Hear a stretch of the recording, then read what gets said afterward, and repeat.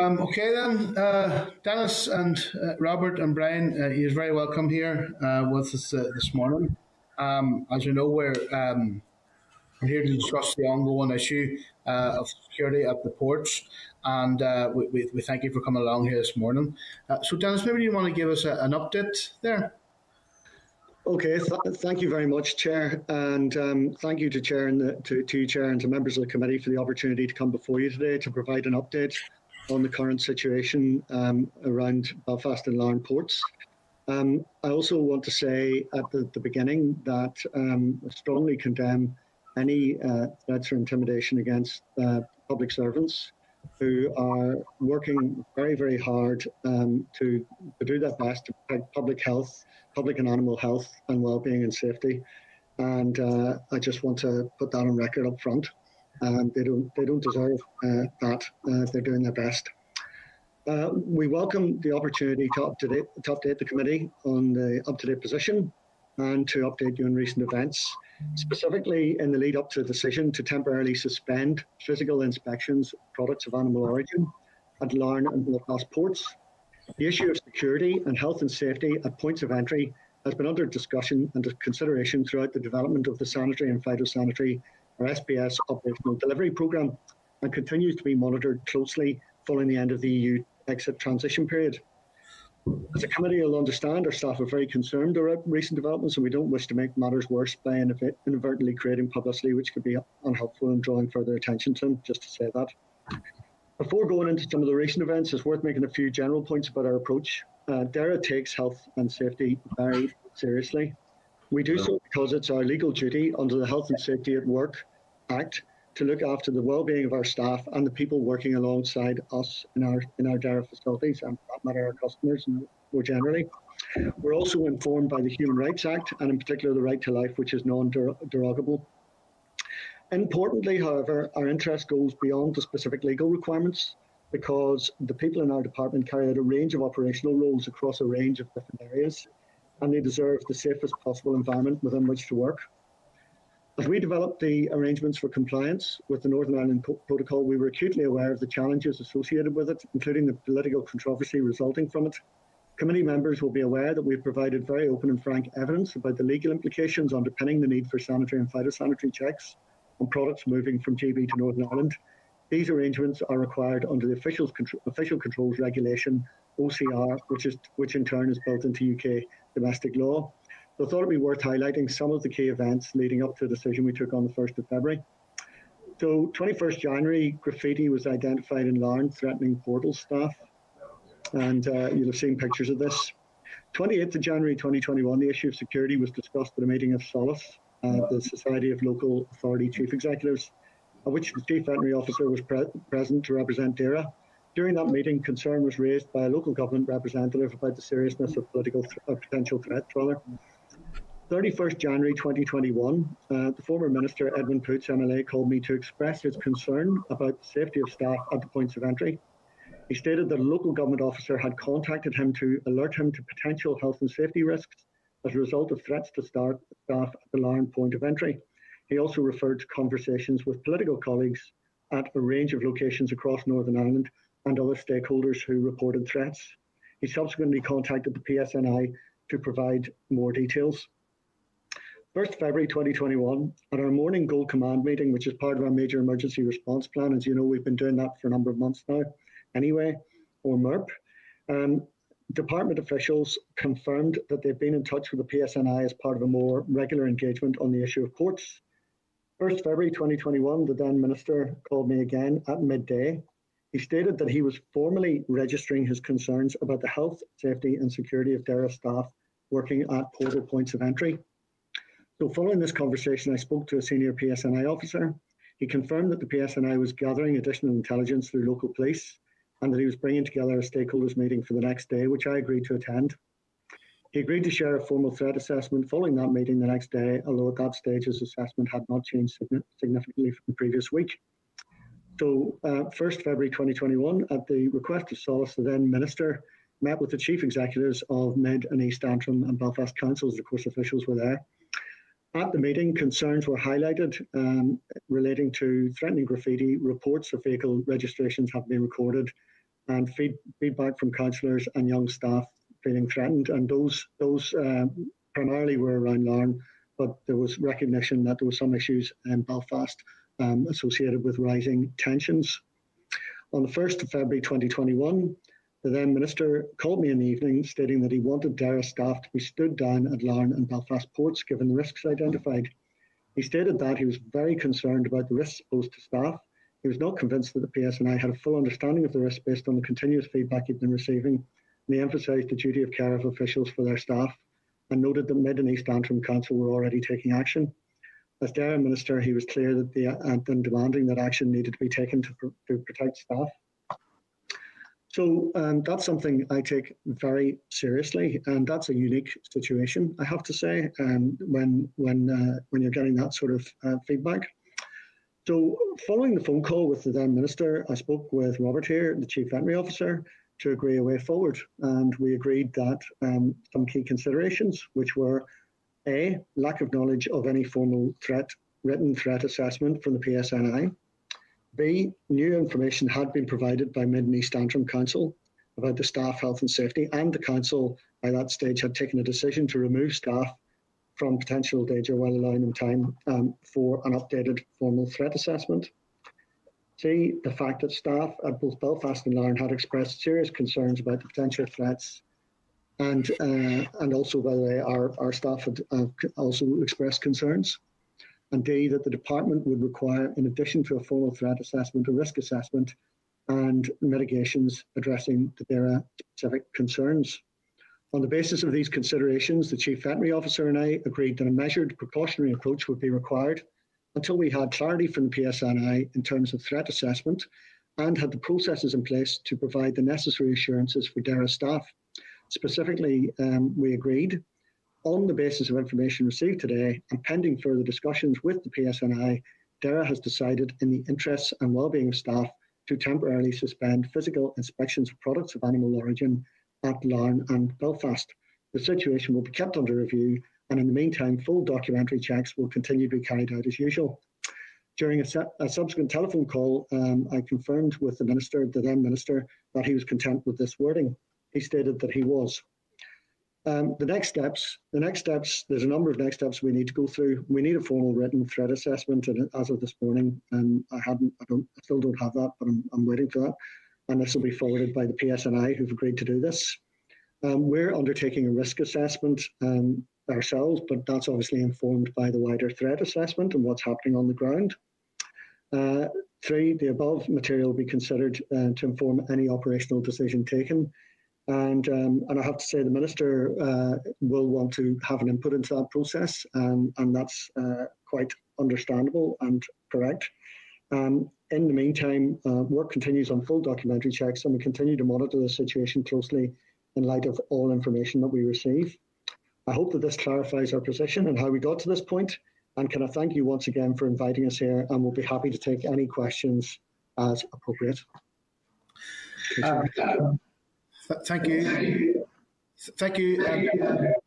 Um, for for for and again, um, and we said this in the chamber um, yesterday, or um, I would try the day before and in public. I think the, the threats to staff are, are absolutely reprehensible, and I hope they can, can uh, they can be resolved.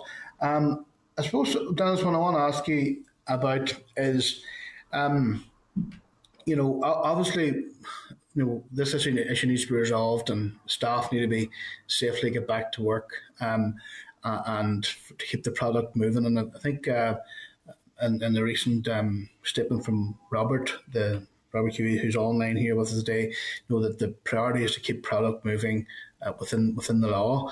You know, what what what would be the impact? What would be the longer term impact uh, of of these checks not being carried out. Uh, you know, obviously we have a reputation to keep, uh, an international reputation to keep. Uh, we want to protect our, uh, our obviously our agri-food industry here. But what's the longer term implication for the agri-food sector and our shops uh, if if if this if these checks um, can't be reinstated? Chair, I'm going to hand that one to Robert, who'll uh, be able to give you a professional view.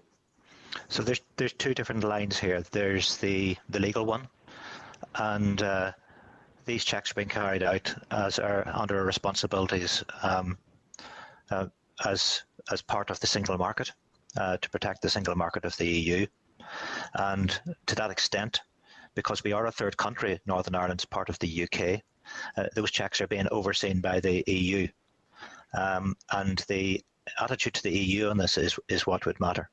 Um, uh, they could come in and take action. Um, they have a range of actions um, from the um, from the legalistic ones to the practical ones on the ground. Um, but at the moment, they are keeping a watching brief. I spoke to the head of unit in Grange on, uh, on, on I think it was the first the first night this happened, and we agreed together that um, his member of staff uh, wouldn't wouldn't attend. So, uh, unlike what it says in the press, some places it wasn't the case of the European Union withdrawing their staff. Um, it was a decision between um, himself and myself as the senior responsible officers uh, that, this, that the member staff wouldn't come to work um, probably for the remainder of this week. That's where that's where we left it. So it's a legalistic one, um, which the EU would, would be responsible for. Then there's the reputational risks, and when making the decision, I took that into. Well, sorry, when advising on the decision, uh, I took that into consideration uh, because the the products of animal origin are the ones that uh, have the least risk at a technical level to the animal health, public health, and plant health in Northern Ireland. We continue to carry out animal health checks because uh, on arrival because that's important and something, in fact, that we've always done. And we're continuing to carry out uh, checks on products coming from third countries because we've already done that. We've always done that, and we're continuing to do some plant checks, physical checks. So when deciding what action to take precautionary uh, to reduce the threat to staff, um, the the implications in the short term uh, for Northern Ireland were taken into consideration uh, with that uh, principle of trying to protect animal health, public health, and uh, and and public health in Northern Ireland. So that was taken. In the long term, um, you know, is, is this sustainable? It depends how long it is sustainable for weeks, um, but not for much longer than that. Okay. Um, and that was the question I was going to ask you. That, you, you preempted my second question about you know how long how long is this how long is this sustainable? You know how, how long will it, will it will it be tolerated? And you say Robert that, that there there are they, you know, they're, are there still? You say this, the checks are still continuing. The animal checks are still continuing. Yes, they are. It is only products of animal origin, um, chair, at Belfast and Larne that we have stopped completely. Um, and it's other checks are still continuing where the staff feel that it's safe to do so. And those decisions can only really be made by the people on the ground, uh, with the staff on the ground. Uh, that's what that's good practice in health and safety. Uh, that staff at the ground do their risk assessment and decide what's right within a framework set by senior management. I've tried, in very few words, given the information available, uh, set to set the framework for staff to make the decisions in, and, mm-hmm. and staff are, are continuing. There was there was checks done last night on on uh, consignment of chicks coming in from Moy Park, uh, mm-hmm. for example. I think it was from Moy Park. Mm-hmm. Uh, so again, that comes to the point. You know, at some point, could this result in a, a, a, you know an animal welfare issue, for example, if the checks were impeded or stopped, or is that, is that could that potentially happen? No, what would happen is that the the product um, could couldn't enter Northern Ireland, and if it uh, did enter Northern Ireland, uh, we would have to detain it uh, if it required inspections. So, for example, there is New Zealand lamb comes in there's companies that uh, their their main business is, is cutting New Zealand lamb for for supermarkets. If they don't get raw material through the port, it is detained in the port, uh, then they can't continue with the work. And they could continue that for a for a period, but not for long. And the same with other raw materials. Um, if we had to detain them uh, particularly the materials not coming from GB but coming from the traditional third countries, um, that would uh, that would uh, eventually mean that companies are running out of raw materials in particular. Okay, thank you. Uh, thank you, Robert. I'm going to move, around there. Philip? Philip? Yep, thank you. Thank you very much, Chair. Uh, and thanks, uh, Dennis uh, and Robert. Uh, Dennis, in your contribution, you, you said that, that I mean, that this issue had the potential to have major political consequences. And I think you'll agree that the decision has uh, caused quite a bit of a political furor uh, in, in the last couple of days. Uh, and and there is uh, quite a lot of public interest in how the decision was reached. Uh, I mean, and can I just, like the chair, predicate all the, my comments on the fact that, that, that nobody should be issuing threats to staff, and staff should be free to go about their work safely and feel safely, uh, and would condemn any threats.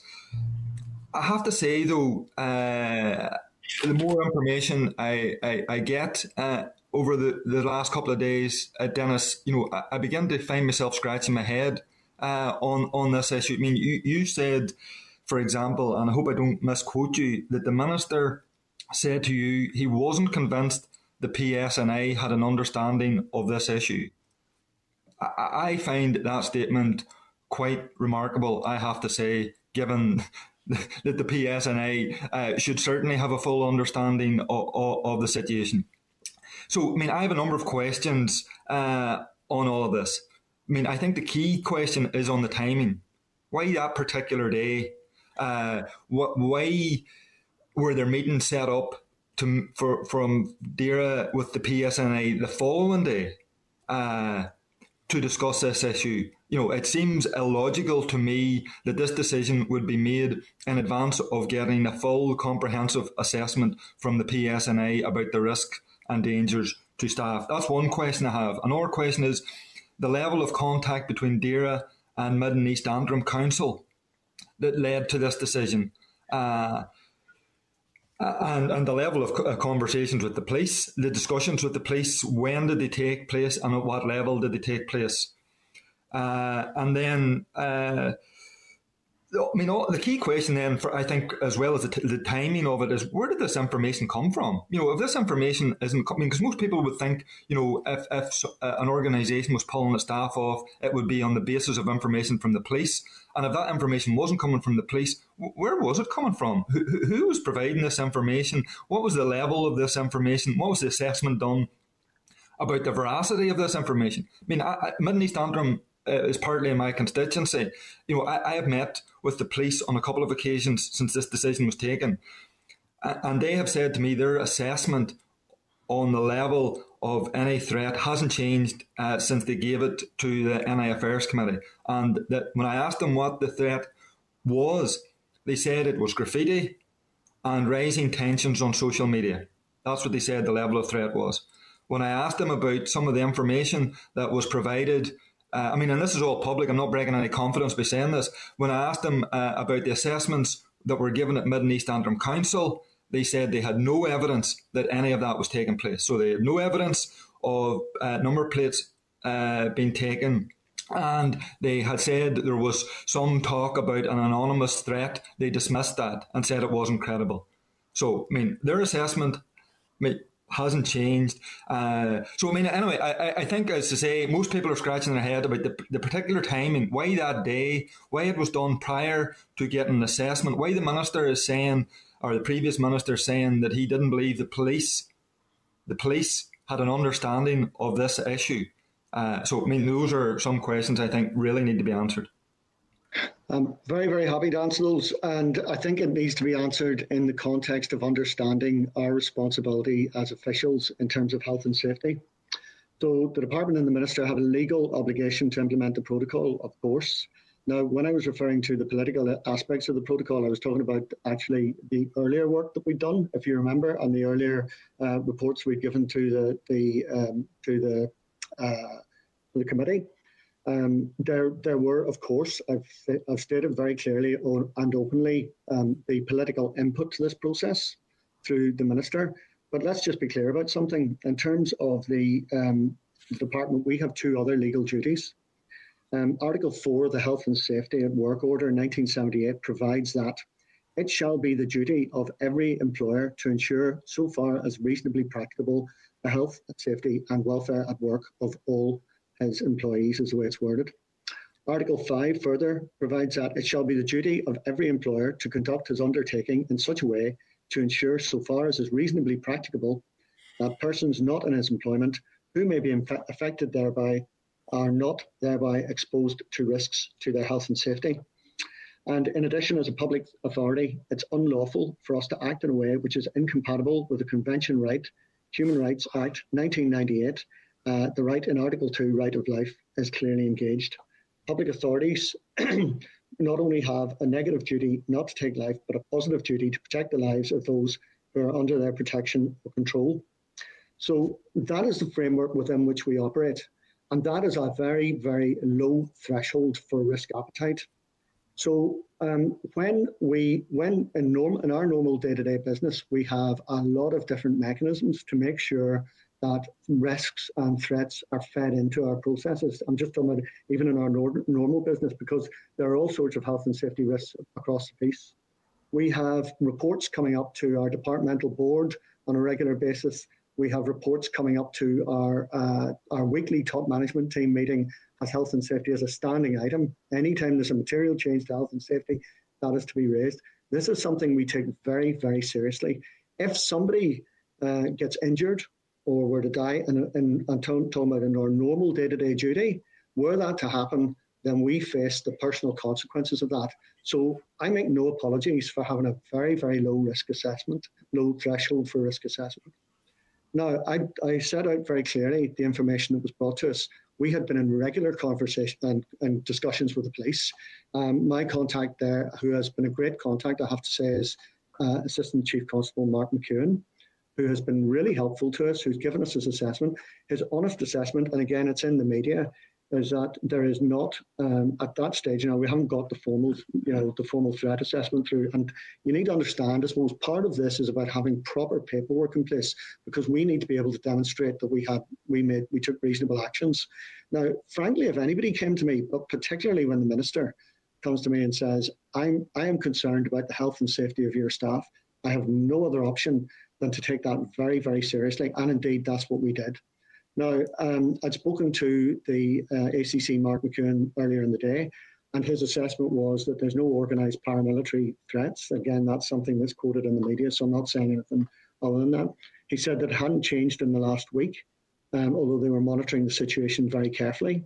Uh, he said they were getting they were getting additional information. I believe they still have been getting additional information because things things have been incidents have been continu- continuing to um, occur, I understand, and that other and councils are, um, you know, are reporting back.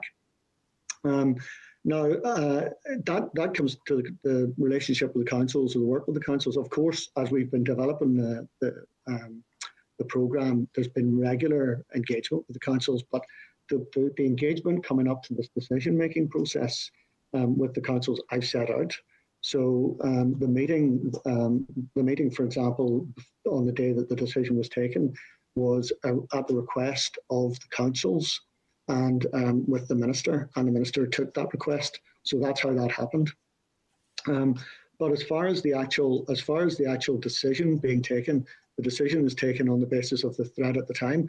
And no, to be fair to, to be fair to everybody, no threat assessment can rule out all danger. That's just not, or no, no risk assessment for that matter. It's just not the business. I mean, for people doing TB tests, for example, with cattle in a crush, you know, that, that itself could have a health and safety implication. So I understand that. But in this particular case, there was just a lot of information coming at us from a lot of sources. And, you know, and, and in Robert, in my view, actually, um, and having had a discussion, and certainly, and I'm happy to take full responsibility for this, I took the view that actually, do you know what? I've heard enough, and until I get a formal written uh, assessment, risk ass- or threat assessment on paper, um, we're just going to have to take a decision to to um, pull things back a bit, just for the safety of staff. So that's that's where that's how we got that. I hope that's helpful. Well, Dennis, just again. Uh, it seems that if was the process was uh, heavily influenced and driven by the minister. Uh, you know, he was making phone calls to you, he was making phone calls to others. I mean, I think in your earlier contribution, you said that he, he was uh, having discussions with political colleagues. So, I mean, he, he was taking his uh, opinion and advice perhaps more heavily from political colleagues than he was from the PSNI. I mean, that's, that's what I'm gathering. You know, so I, I mean, I'm I'm looking on at this and asking the question. You know, if the, if the minister hadn't been making the phone calls to you, if the minister hadn't been asking for action from you, you know, would you have come up with this decision on that particular day? No, the additional the additional information was what got us to that point. We may have well we may well yeah well from the minister and from there was some of that was coming from Mid East or some of that was coming from the councils, but particularly Mid East Antrim. Um, so we yes absolutely we would take that information on board. But to be honest with you, if anybody came, came to us, if anybody ever came to me and said there's a you know there's a real uh, health and safety concern here, and you don't have all the information you need I can assure you, I would always take that decision to act in the most precautionary way possible. That's just a given. Yeah, and I mean the final question then is obviously uh, Mid and East Antrim took a decision. You know, Belfast took a different decision based on the same information. That's right. And, and again, and again, if you come back to the law, this this reflects now.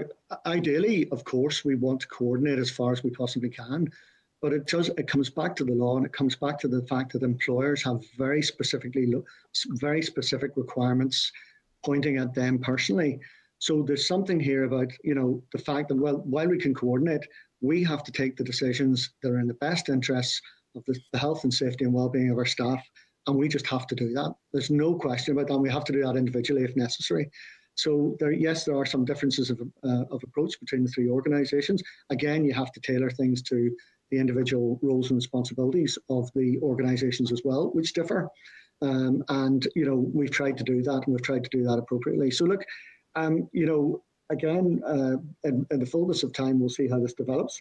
I think one of the other things that's worth saying is we we will keep a very close eye on this because we want to we want to monitor the situation very and see how things change. Because as as the police have pointed out, the other side of this is there are um, rising tensions and there are um, situations where individuals or groups could act outside of um, paramilitary structures, and that's that's the concern. Making sure that we're we're just we're just making sure that we're we're taking a, a reasonable approach in line with the legislation. Okay, uh, okay, give up. Okay, I'm gonna um, I'm gonna bring in uh, John Blair now because John has to leave short uh, at some stage to uh, for from for a wee while. John, John Blair. Lost you, John. Hello, John. Okay, whilst John's reconnecting, I might go to Patsy, Patsy McGlone. I'm I live there yet? Patsy, I got you here. Yes, Patsy. Sure. Um, thanks very much to uh, to Dennis and and uh, Robert and uh, Brian there for, for their attendance this morning, just to talk about these issues. Uh, first of all, I'm sure uh, with with all of us, uh, we would condemn any threats to staff and indeed to to our committee colleague there, uh, Willie Willie Irwin, who, who was in a similar position through the week. Um, that goes without saying, and we have to do everything we can to protect people and to calm situations down, which is vitally important. Now, um, there's a number of things, just uh, reassurances around security for staff, and I'm glad to hear that you're doing risk assessments, and that's of paramount importance to me, certainly. Um, uh, because there are very, very there are real concerns and being expressed by families about the situation.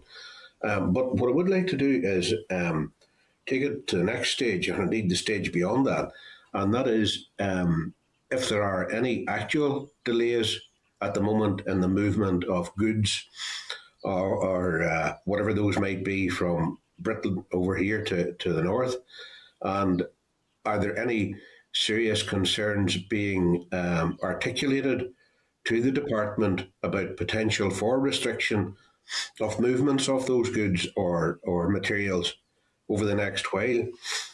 And then longer term, and this is this is a larger question than that. Longer term businesses will be businesses, and uh, ultimately, this sort of behaviour uh, by um, miscreants of some description or another uh, displacement of work away from the port of Larne uh, to other ports, either within the north or within the island of Ireland. So um, those those are, I'm sure, matters that are bound to be running through your head, and I would like to hear just what your your views are on all of those issues, please. Just Um, with your agreement, um, maybe Robert could take some of the issues about the, the flow of trade first to begin with. O- Okay, so uh, at the moment and in the, the short term, um, I have no concern about the flow of goods. We're continuing to do 100% documentary checks as required by legislation.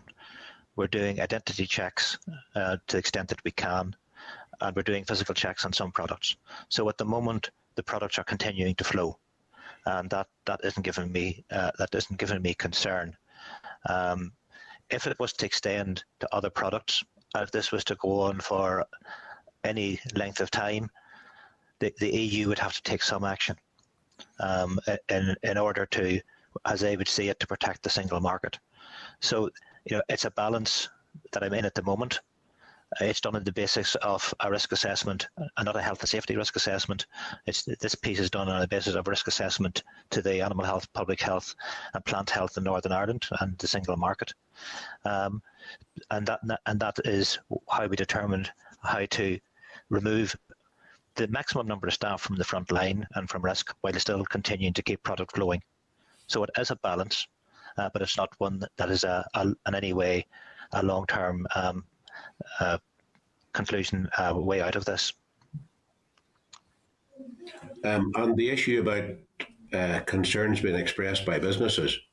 Uh, uh, the, I, I, I'm not I'm not aware of any as yet, but maybe Robert, I don't know if you're hearing any No, I, I, I was surmising early on about the it, it would be raw materials, particularly those coming from the traditional third countries. That if we were to stop doing those checks, um, so th- those are the ones we're prioritising um, and trying to trying to maintain. So, you know, people on the uh, on the front line are making health and safety decisions, uh, which is right, and I'm I'm largely within a framework, leaving it to them to decide uh, what what their staff are comfortable doing and what they aren't. And I suppose I suppose on that on the third country goods coming in, the, the key point there is Robert uh, round or through the chair, sorry, um, is the the fact that uh, that's feeding into local businesses, Northern Ireland businesses as well. Just Um.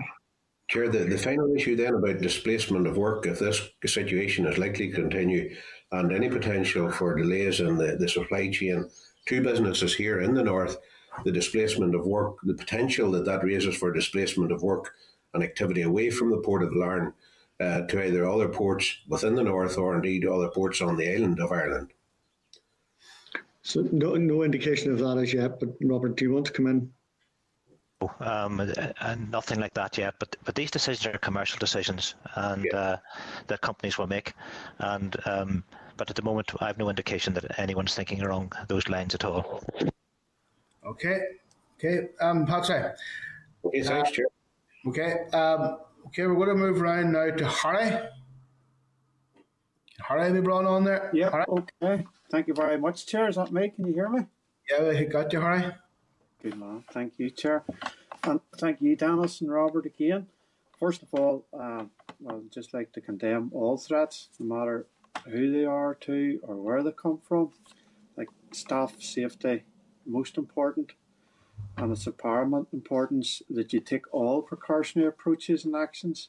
I mean, I think, uh, Denis, that early decisions are best when health and safety at work is concerned.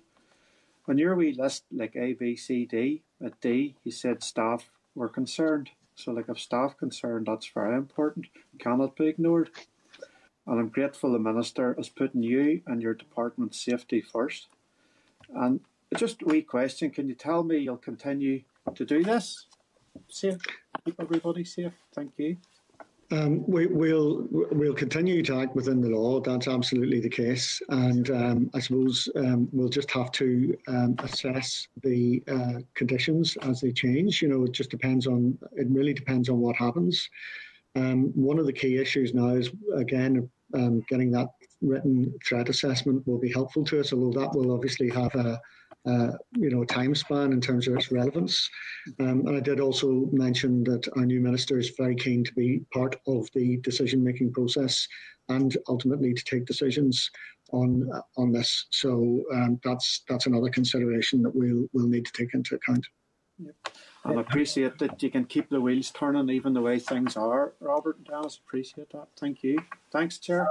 Okay, uh, before we move to William there, I just want to ask a question. John John Blair got, got cut off there, um, Denis and Robert, but he John asked asked that it be raised. Denis, in your earlier contribution, you mentioned councils uh, as in plural regarding the threats and advice related to DAERA. Uh, perhaps could you confirm whether the plural or singular, as it seems no such information or request has come from Belfast? Um, I, am not. I'm not sure. Maybe I fully understand that. Maybe my colleagues can come in. I, I think just um, the main thing I'd say about the councils is we we've actually been um, certainly since uh, Tuesday. Actually, since uh, from my conversation with ACC um, uh, McEwan, he had um, he was keen to actually get a group together, and that's that's been meeting uh, every day, and will continue to meet, and that's had Belfast and uh, Mid and East Antrim and Newry. Councils all, all represented on that. So uh, we have had, uh, you know, there is regular conversations going on through that forum. I don't know if that's helpful. Is that or Robert? Robert, sorry, maybe you picked it, up. It's, it's also worth saying at an operational level that um, we've now cut them down to twice a week. Um, there were five days a week uh, operational meetings between all, all parties involved, including um, the environmental health teams from Belfast, uh, Warrenpoint, and Larne. So we talk about these things on a regular basis, and, and we did so uh, on on Tuesday, um, and we will again tomorrow. So the, the, at, at an operational level, we're we're working very closely together, and uh, and, and trying to keep a consistent uh, view at, at that level uh, and taking on the concerns. And that's where I hear, uh, and my senior managers hear, the concerns from the frontline staff who are, who are delivering on the ground. So at that level, we're we're we're doing all we can to try and and, and reassure as appropriate that you know at, at a similar level across across the councils.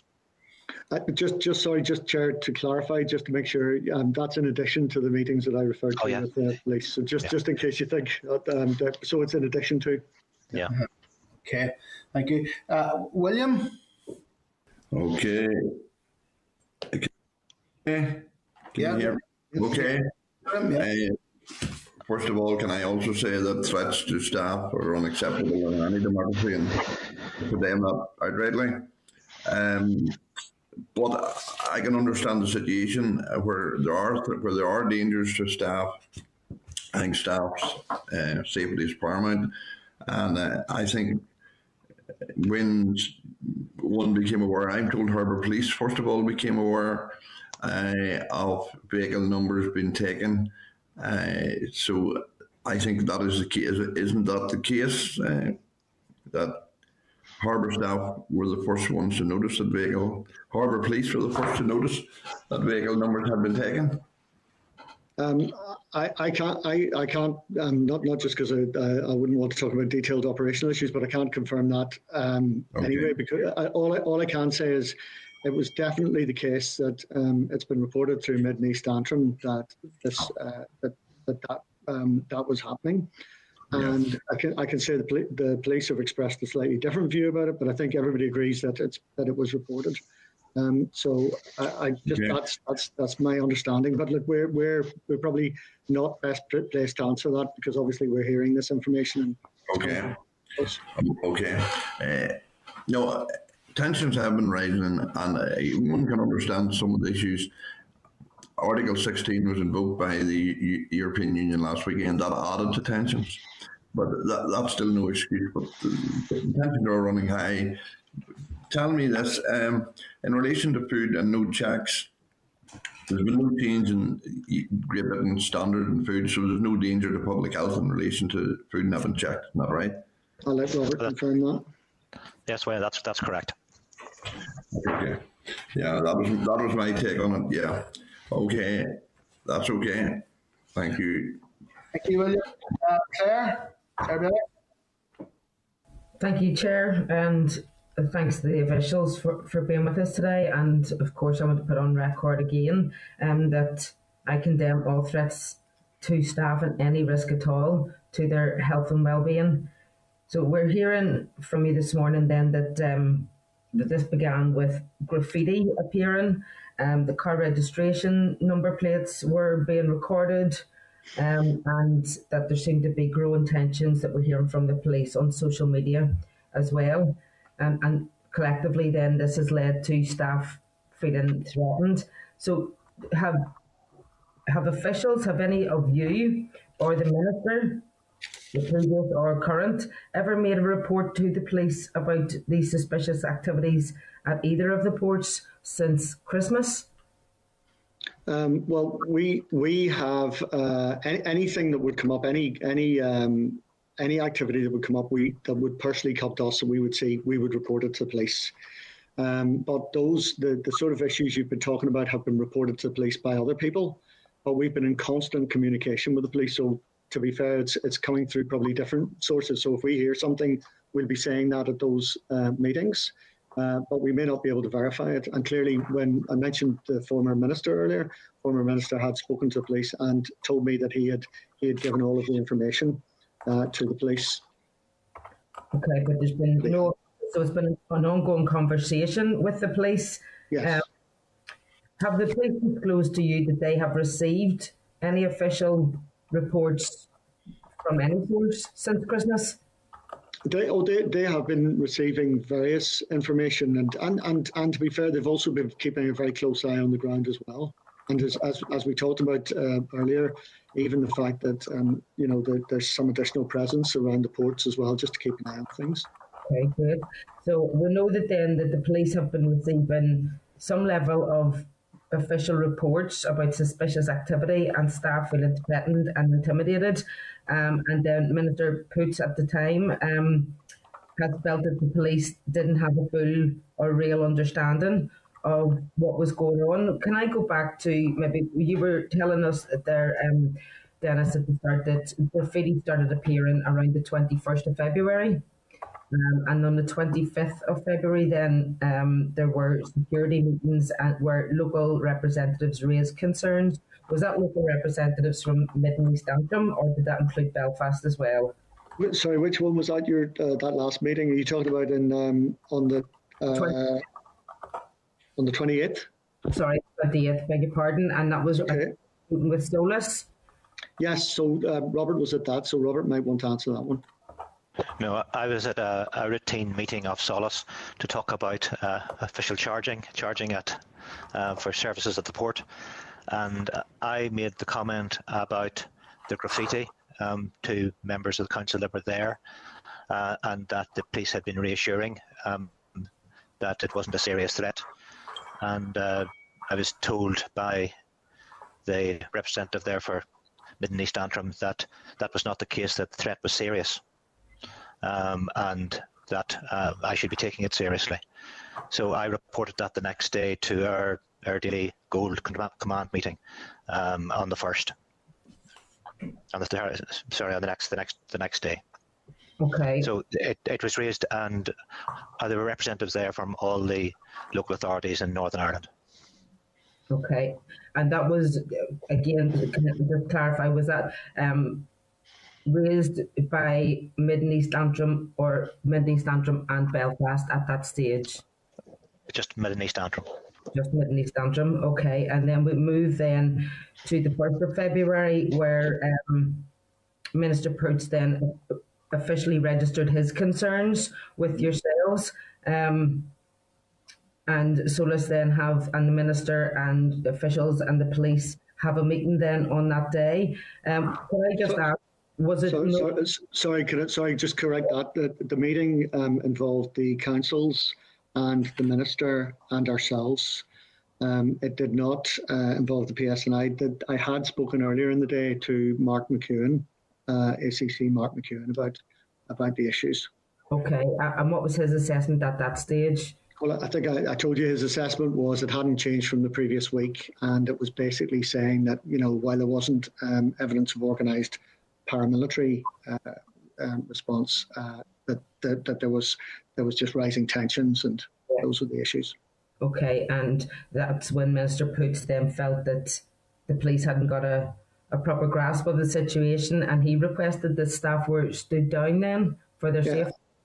I think I think I think the key point the key point from um, the from the minister's comments for me was not so much. I mean, the minister said that he felt that uh, the police didn't have the full um, um, information. my from my point of view, it wasn't that like the police were ignoring something or not doing something. It was simply the case that a lot was happening. It was happening quite quickly.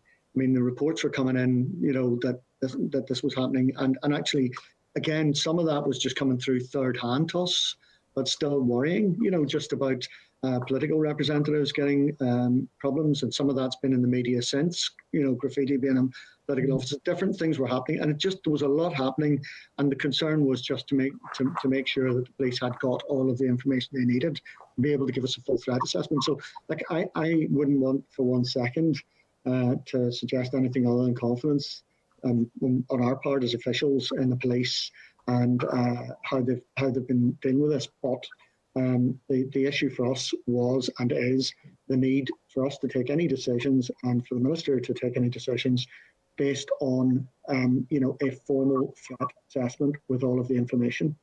Okay, yeah.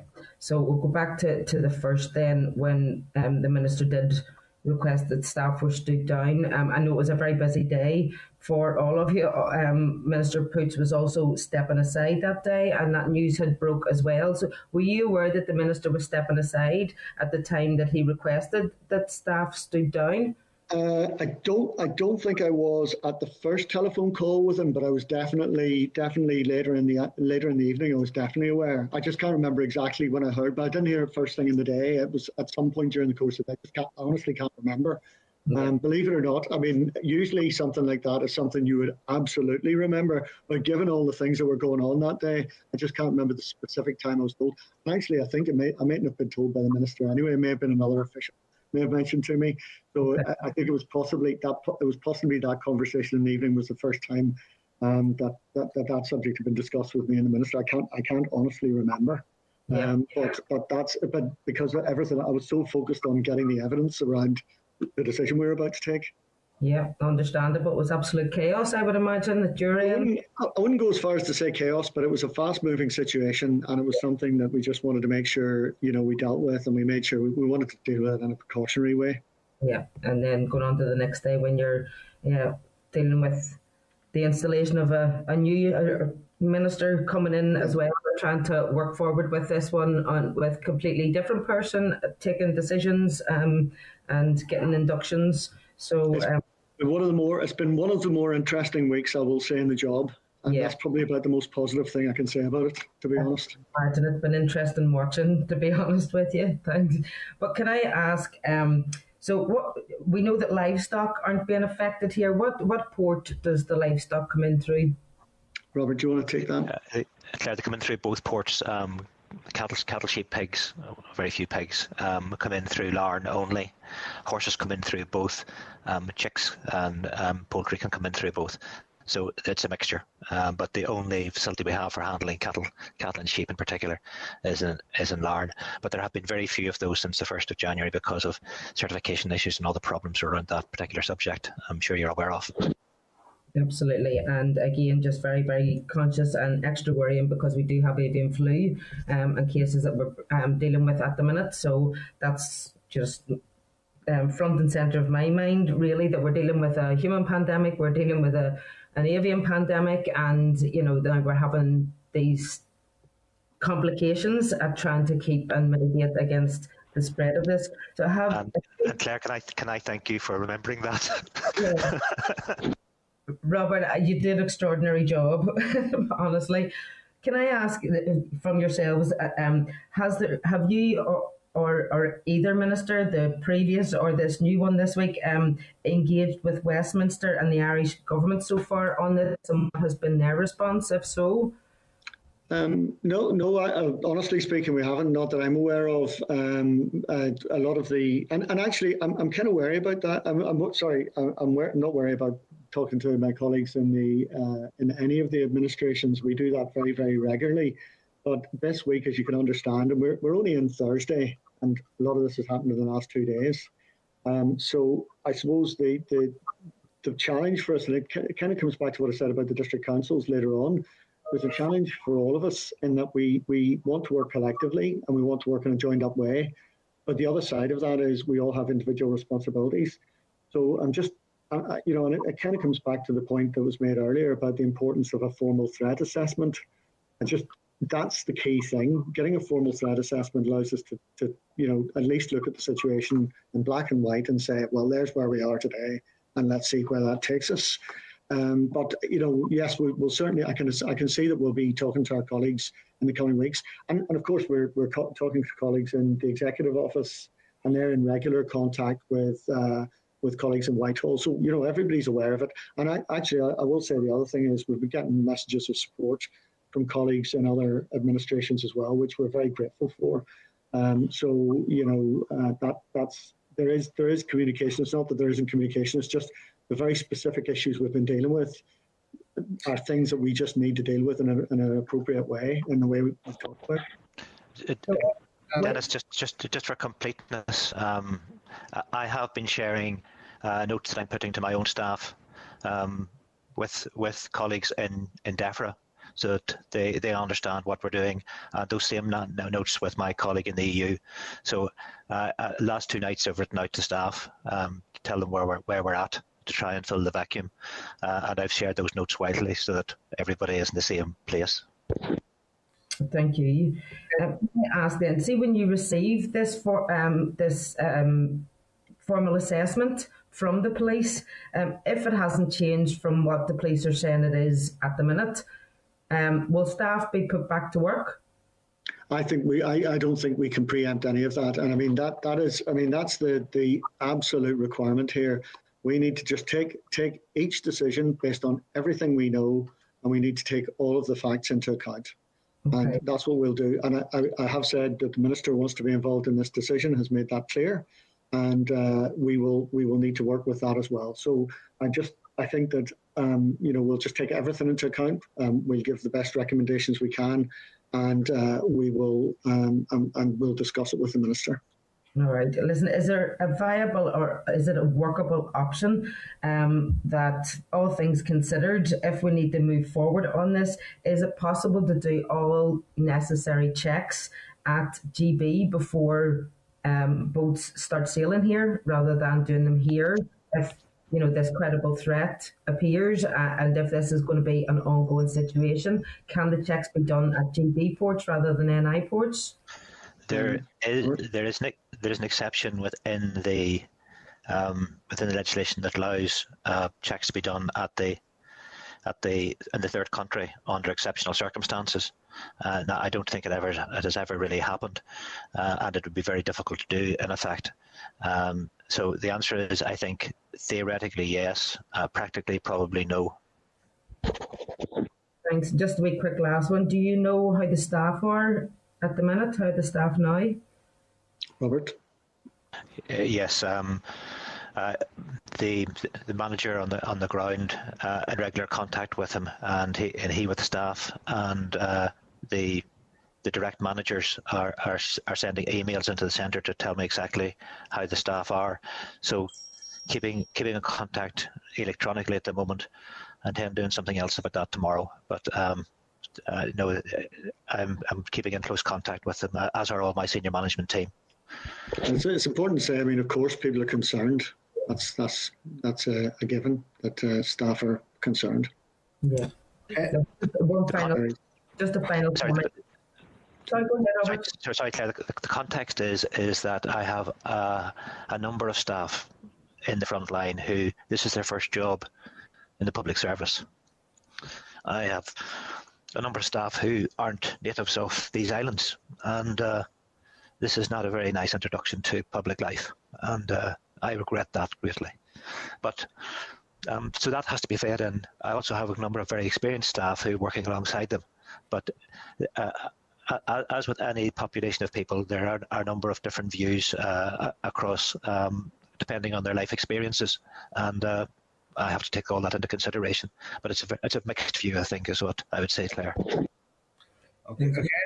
A final comment, I may, Chair. Just uh, I'm listening to what Robert was saying there about you know exceptional circumstances. If checks need to be done at GB, I don't think that there could be any more exceptional circumstances when we're dealing with a COVID pandemic, when we're dealing with avian flu, and when we're dealing with the whole transition and the chaos that has been generated as well. So I just want to put that on record. Thank you. Thank you. Okay, thank you, Claire. Um, Rosemary. Rosemary. Can Rosemary Barton be brought in? I think we might have lost her. No, Rosemary, have you here? Yeah. Yes, Rosemary, go ahead.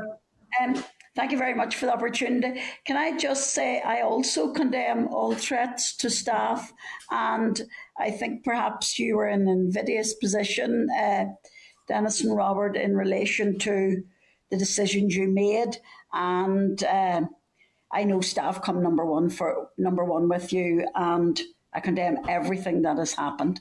Um, just also, what what I would say is. Um, you talked about animals coming still coming across. How many animals are roughly coming across at the moment? Rosemary, it would be a guess. I'll write you a note. It's the safest thing to do. I can give you. I can give you figures. We, we right. obviously we have the, we have the exact figures. I'd rather do that than guess.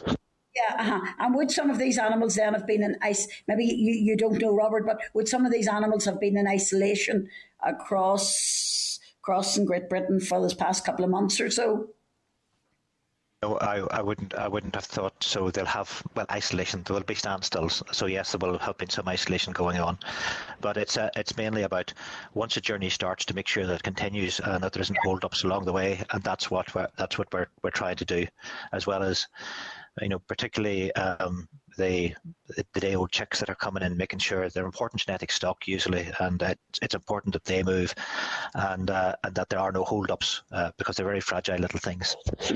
No, it's just I'm thinking of the welfare of the animals and the and the welfare of the chicks also in relation to that. And um, in relation to avian flu, you you feel everything is safe in re- in relation to protecting us here in Northern Ireland against it with the uh, with the. Yeah, um, yes. Um, this is almost business as, as usual now. Um, the protection and surveillance zones that are around the the break, outbreaks in, in GB, the most recent one being in Anglesey, actually, um, protect us from protect us from these imports. Uh, so, you know, the systems are in place to make sure that we're keeping the the poultry health in Northern Ireland as, as high as we possibly can. Okay. Thank you very much. Thank you. Uh, Mar- Morris, ring Morris in. Yeah. Morris, go yeah. for it. Hear me, Chair, all right. Yes, Morris. Connections are not good this morning, but however, uh, Chairman, I, I, would join with yourself and the rest of the committee uh, condemning threats or threats of violence, uh, no matter where they come from or no matter who they're made to. Mean, I, have worked through the trouble since 1969 and witnessed threats and the outcome of threats and violence. Well, it wasn't nice. But, Chair, any threat, veiled or otherwise, must be taken seriously. And I think the safety of staff is paramount in any decisions. And I would send best wishes and support to the staff who are living and working under this threat, whatever the level of threat turns out to be. But, uh, Chair, I was speaking to a local businessman this morning who posts regularly to the mainland and receives raw material from the mainland in return. The bureaucracy required in extra paperwork takes him roughly 20 minutes per parcel going out. His suppliers are having the same problem extra work and extra expense, which is just one of the many problems thrown up by the protocol. Can, can anybody give me uh, an, give us an overview of the extra paperwork required, say, for sending animals to the mainland and the paperwork required to bring animals back from GB to Northern Ireland? Uh, could any of the officials give us a, an overview of the amount, actual amount of extra work needed and extra expense needed to uh, keep this protocol up and running? maybe, maybe Robert might be. If you're, are you happy enough to take that one? So, animals uh, it's the usual rules Northern Ireland to GB, very much mm. as was before um, the 1st of January. Um, animals coming this way uh, are subject to an export health certificate, um, uh, the conditions of which are new and some of which are onerous and some of which are impossible. Um, so that's that's the difficulty. And within each export health certificate, there is specific requirements, animal health requirements. Um, and the certificates we're using at the moment are model health certificates, so they cover all sorts of things that that, that cause no no risk. And what I'd really like to do is to get an opportunity to negotiate on those animal health certificates to try and make these movements uh, more streamlined. So the, the the the answer is is that there is additional paperwork in some cases, particularly in horses, uh, non-registered horses, there's additional blood sampling to be done before the, the, the animals can come over, and uh, uh and then there's the expense of the uh, of the transporting. So there, there is considerable, um, running into hundreds of pounds. Um, and some of it, from animal health uh, terms, isn't strictly needed. So those are the things that we, we need to try over the next days, weeks, and months to try and streamline and and make more appropriate to the risk that actually exists. And, and, and, and Robert, thank you very much for that answer. But is that is that uh, necessary checks? Are they per animal or per batch of animals? Say if you had a, a, a batch of six animals coming across, does the certificate cover the six, or does it have to be individually? No, no, the certificate will cover the. So obviously the test will cover uh, each individual animal, but the uh, the certificate will cover will cover the the batch. Batch is a good word for it. Yeah. So the if you're bringing over a over sheep, obviously it's a, a certificate for the 200 sheep or whatever you're putting in the lorry. Thanks very much for that, Robert. Thank you. Okay, Thank William, you. you're back in there. Right, Morris. Um, William, you're looking back in there again. Very much, uh, Mr. Chairman. In relation to the issue of the protocol, in relation to a number, a growing number of businesses in the UK that are now deciding not to trade and not to send product to Northern Ireland, how do we deal with that situation? Well, there's a, a, a number of new requirements, um, and the SPS checks are only one of them. And actually, I think uh, a good deal of the burden is lies on um, uh, the HMRC side of side of issues, and, and those two are causing. But from an exporter point of view, it's a it's a total burden of additional administration that is causing the trouble. Um, so it, it has to be dealt with in a whole. Um, I'm of course most interested in the SPS checks and what can be done there. Um, but there's also the issue, even when you deal with that, of the uh, of the HMRC side of things. So it's it's there's a there's a there's a lot of additional. Um, I can't use any other word than bureaucracy re- required, uh, William, and it's it's it's going to take some time to to un- unpick and and look at in detail. Would you not accept, Robert, there's going to have to be changes to this because it, it certainly is not working on the ground. I have one constituent that imports, or not, I wouldn't call it importing, they're bringing uh, dog food in from Wales, a company in Wales. The company just said this, they stopped supplying because he brings in about 10 ton of dog food. There's a number of different brands. Each separate brand has to be, it has to take a sample, it has to be tested in the lab each time before it's, it's taking 180 pound of time to do it. So no one, this this all just just doesn't work. I mean, it's it's bureaucracy gone mad. I think if you don't mind, I'll maybe um, just touch on that one. The only thing I would say is um, the, the factual position is, as, as you you know, as Robert's outlined, and you've talked about some of those issues, and they're they're all um, uh, you know they're all out there, and, and, and because people are reporting on it.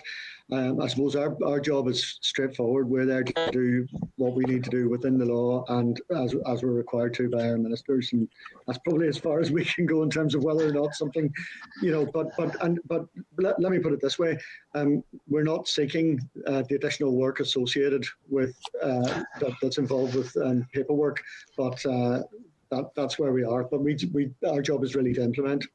Oh, I, I fully understand that, and, and I have every sympathy with your, your the problems that you face. But uh, obviously, there's going to have to be changes because, it's, in my view, it, it is not working.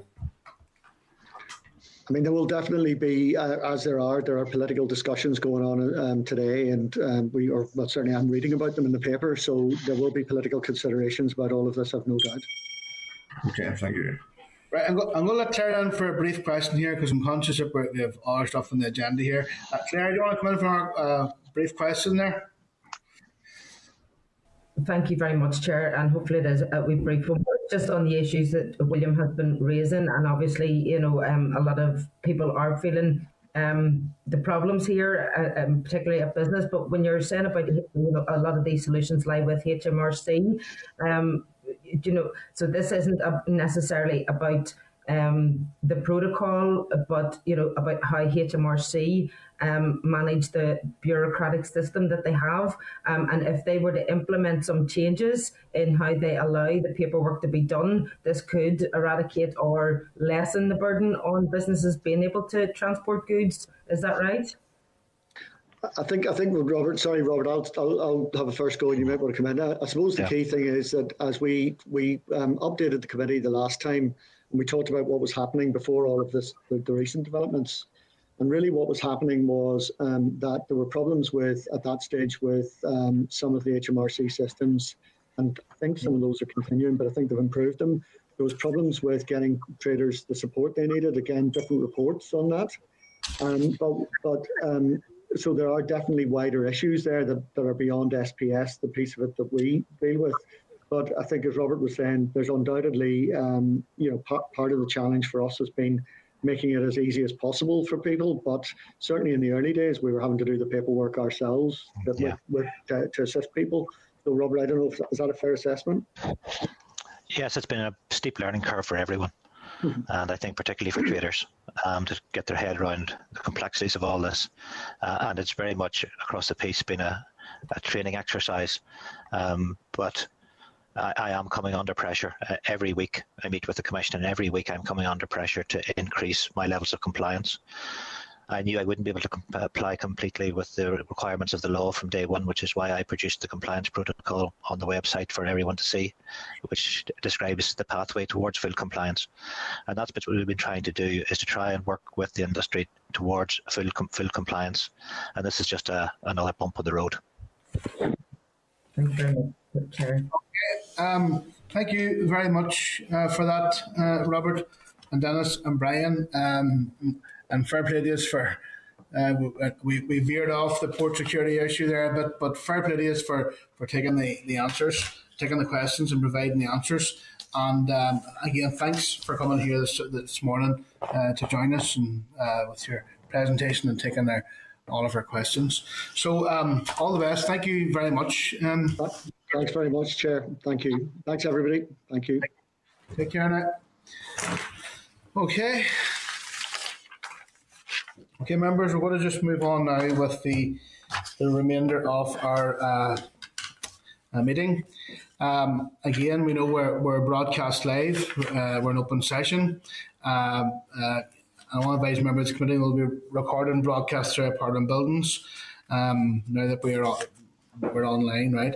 So at today's meeting, we'll have an oral briefing from the department on the implications of EU exit for the local fishing fleet an oral briefing on the budget 21-22, a written briefing on CFP EU exit regulations, and a written briefing on the consultation proposed fees and charges for the UK uh, ETS. Um, so I, the next item item three in the agenda is chairperson's business. Uh, there, oh, there goes my thing. Am I still online there? Yeah.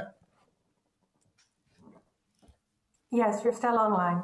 Yeah, thank you. Uh, okay, uh, one by there were several briefing papers from the department which arrived too late uh, for inclusion in the main committee pack, uh, and the budget paper never arrived.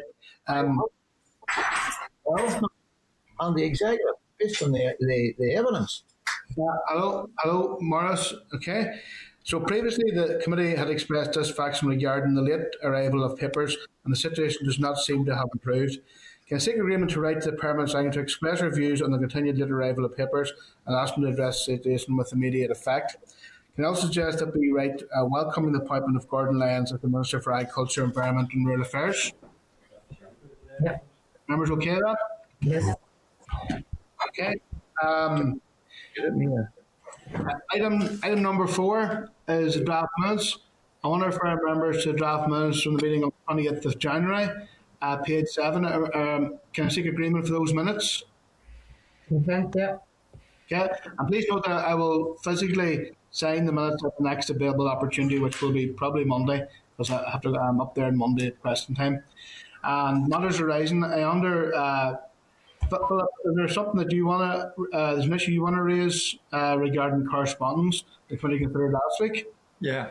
Thank you, Chair. I, we had correspondence last week from the climate change uh, business in the community group, and uh, we had directed them to seek funding from, uh, you know, right to the department and the Department for Economy uh, seeking funding. I mean, uh, can I suggest that this committee actually also writes to the department supporting both departments supporting their request for funding? I mean, basically, this group uh, meets with businesses and you know brings about changes or suggests changes or works with businesses to produce climate change actions and, and the work that they're doing is, is very, very useful. Uh, and I think it would be good given, uh, particularly given that there, there's a pot of money there that they, they, they, should be given funds. So I would urge the committee to support us writing uh, in, in, support of the request and also that whenever we come to discussing uh, the issue of climate change, and we're calling groups to give evidence that we also call them as one of those groups.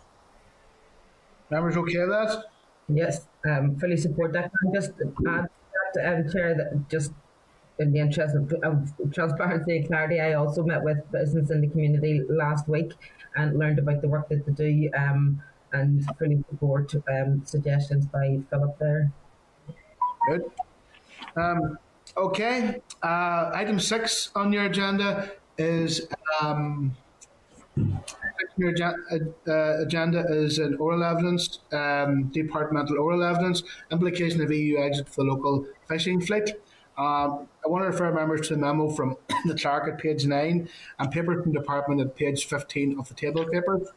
These papers were received too late to be included in the main pack. There was there also been a reply from Victoria Prentis MP to the committee letter on the apportionment of additional quota, and that can be found at page uh, 20 of the tabled papers. Um, I want to welcome at this juncture um, um, by Starleaf, Owen Little, Director of Marine and Fisheries, Paddy Campbell, Head of Sea Fisheries Policy and Grants, Kieran Cunningham, Acting Head of Marine and Fisheries Transition Team. I'd like to invite uh, Owen, Paddy and Kieran to um, to commence the briefing, and then members will obviously ask questions after. Okay.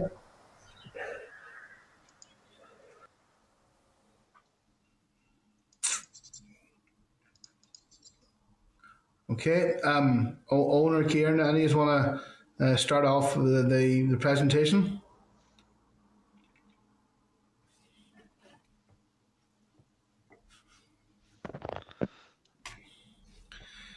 Not sure um, everyone can hear you. Can you hear me?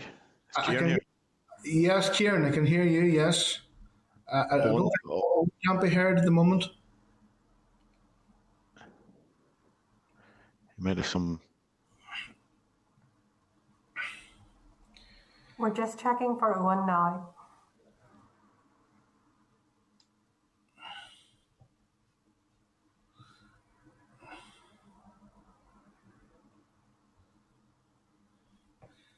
Um, Owen? We can't hear you, Owen.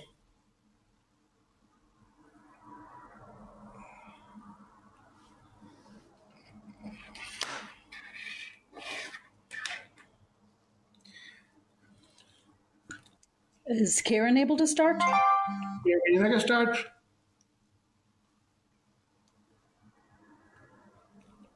Kieran, could you could you? Uh, well, I only cover one area, but I'm happy to to, to run through Owen's statement if uh, if you want to do that while he's getting some of his issues addressed. Yeah, whatever. Yeah. Okay, good morning, um, and thank you, uh, Mr. Chairman, for the opportunity to provide an update to the committee on um, fisheries and EU exit issues. First of all, I'd like to apologise for the absence of my colleagues, Paddy Campbell, there, who, who you just mentioned, um, but he is busy actually uh, undertaking work to do with what they call the UK coastal state negotiations this morning, um, which have been scheduled at very short notice. Um, uh, Paddy is actually our lead official on these negotiations, and um, that are taking place this week. Um, as just mentioned myself here, I'm here um, as one of the leads on the DAERA fisheries transition, and I've a, I've a firm bit of knowledge around the fisheries trade issues um, that have shaped the current situation that we're in. As well as the opening statement on the fisheries and EU exit, I have also been asked to provide an oral update uh, query on last week's committee meeting relating to the COVID financial assistance scheme, which was um, looking at offering to sea fishermen and specifically the, the percentage of EU funding. Um, and I will cover this in the end of my statement. It is uh, an understatement to say that the last five or so weeks um, since the finalisation of the Trade and Cooperation Agreement, including the fisheries element, have been frantic. Um, the recent media attention to fisheries matters is a testament to the complexity and variety of issues that with the potential of the effective fishing fleets and connected supply chain and sectors.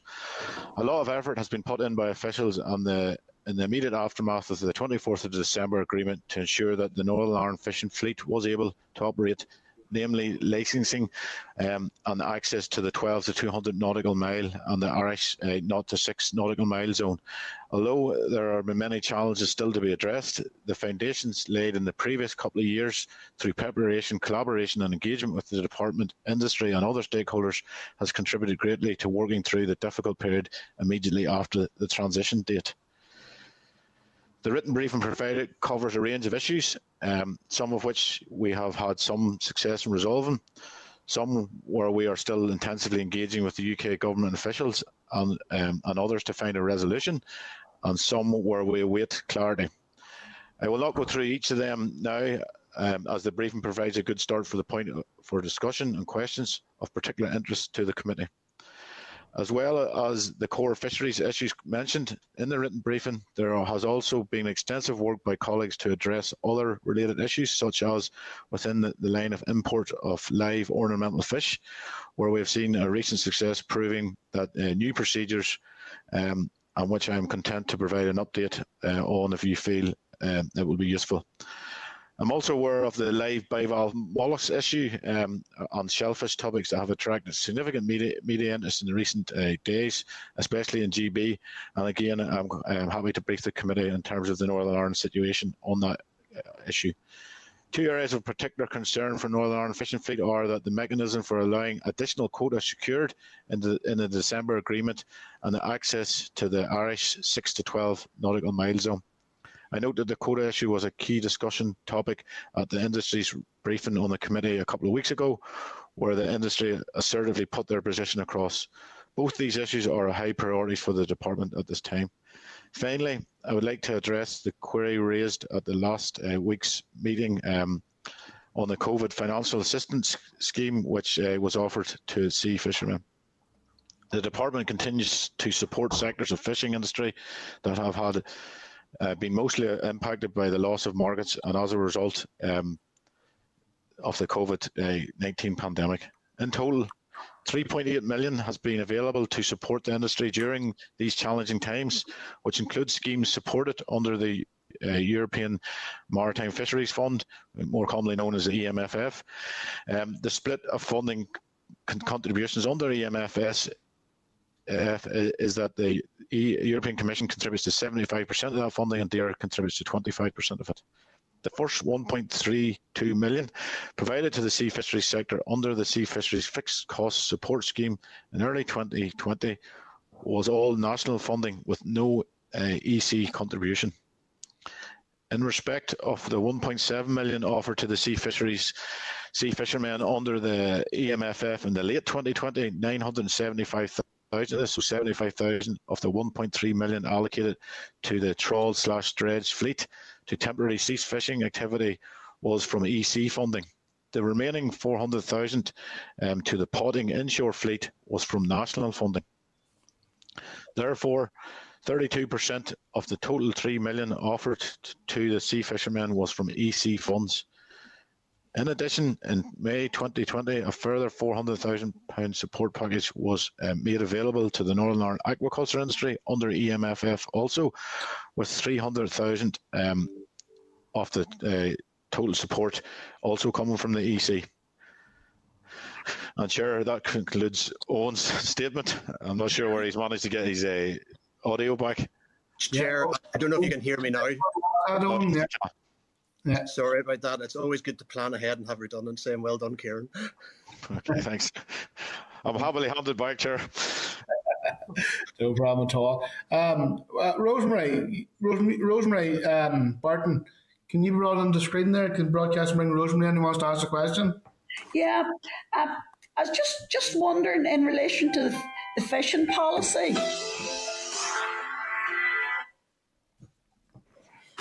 Can you hear me? Yeah, Rosemary.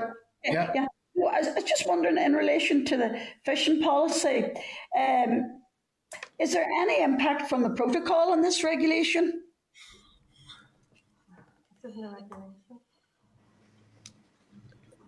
Sorry, as um, sorry, could you just explain that again? It just it was broken up slightly, Rosemary. Yeah.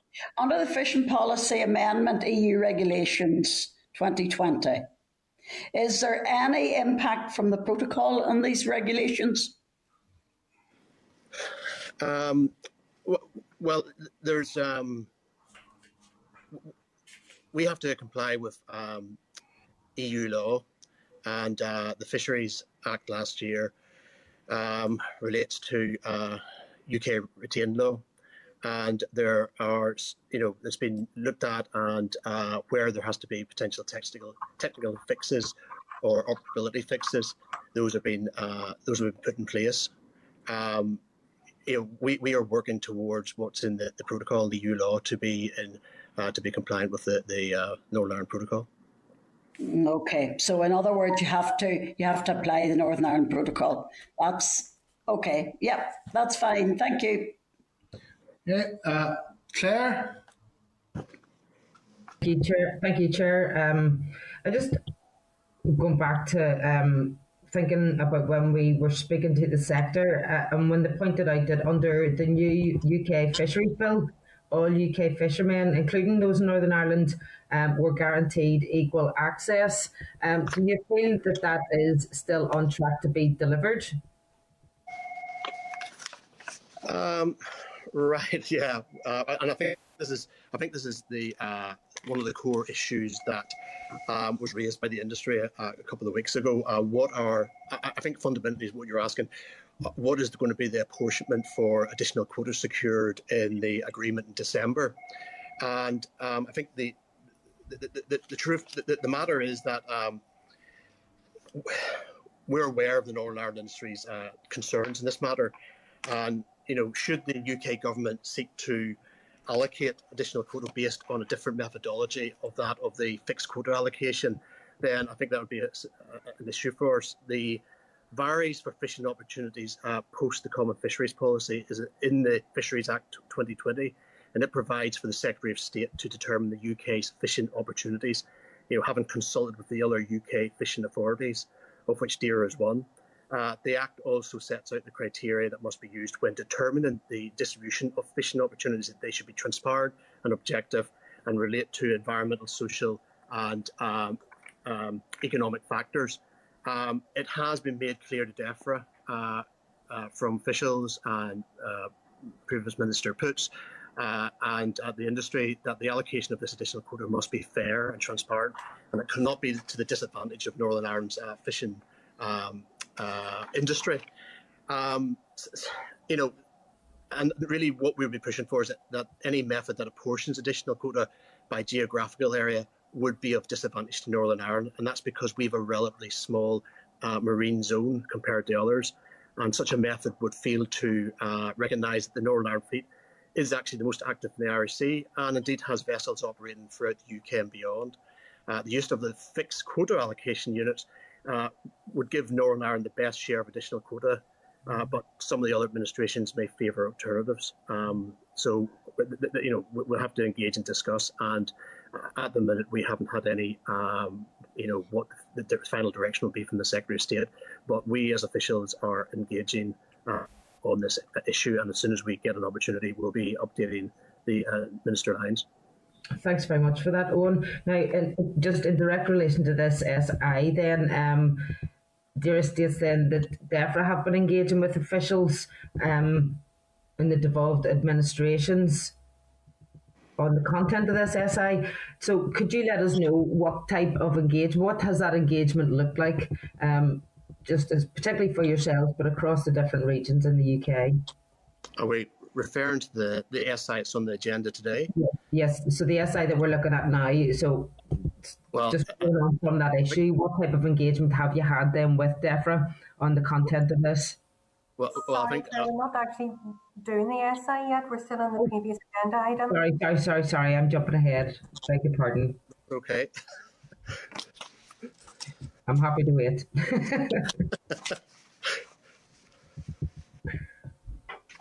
Okay, Claire, uh, I'm bringing in Harry next. Okay, thank you very much, Deputy Chair. Appreciate it. Um, maybe you could tell me an EU fisheries agreement that wasn't part of a trade deal. I'm just wondering why was this?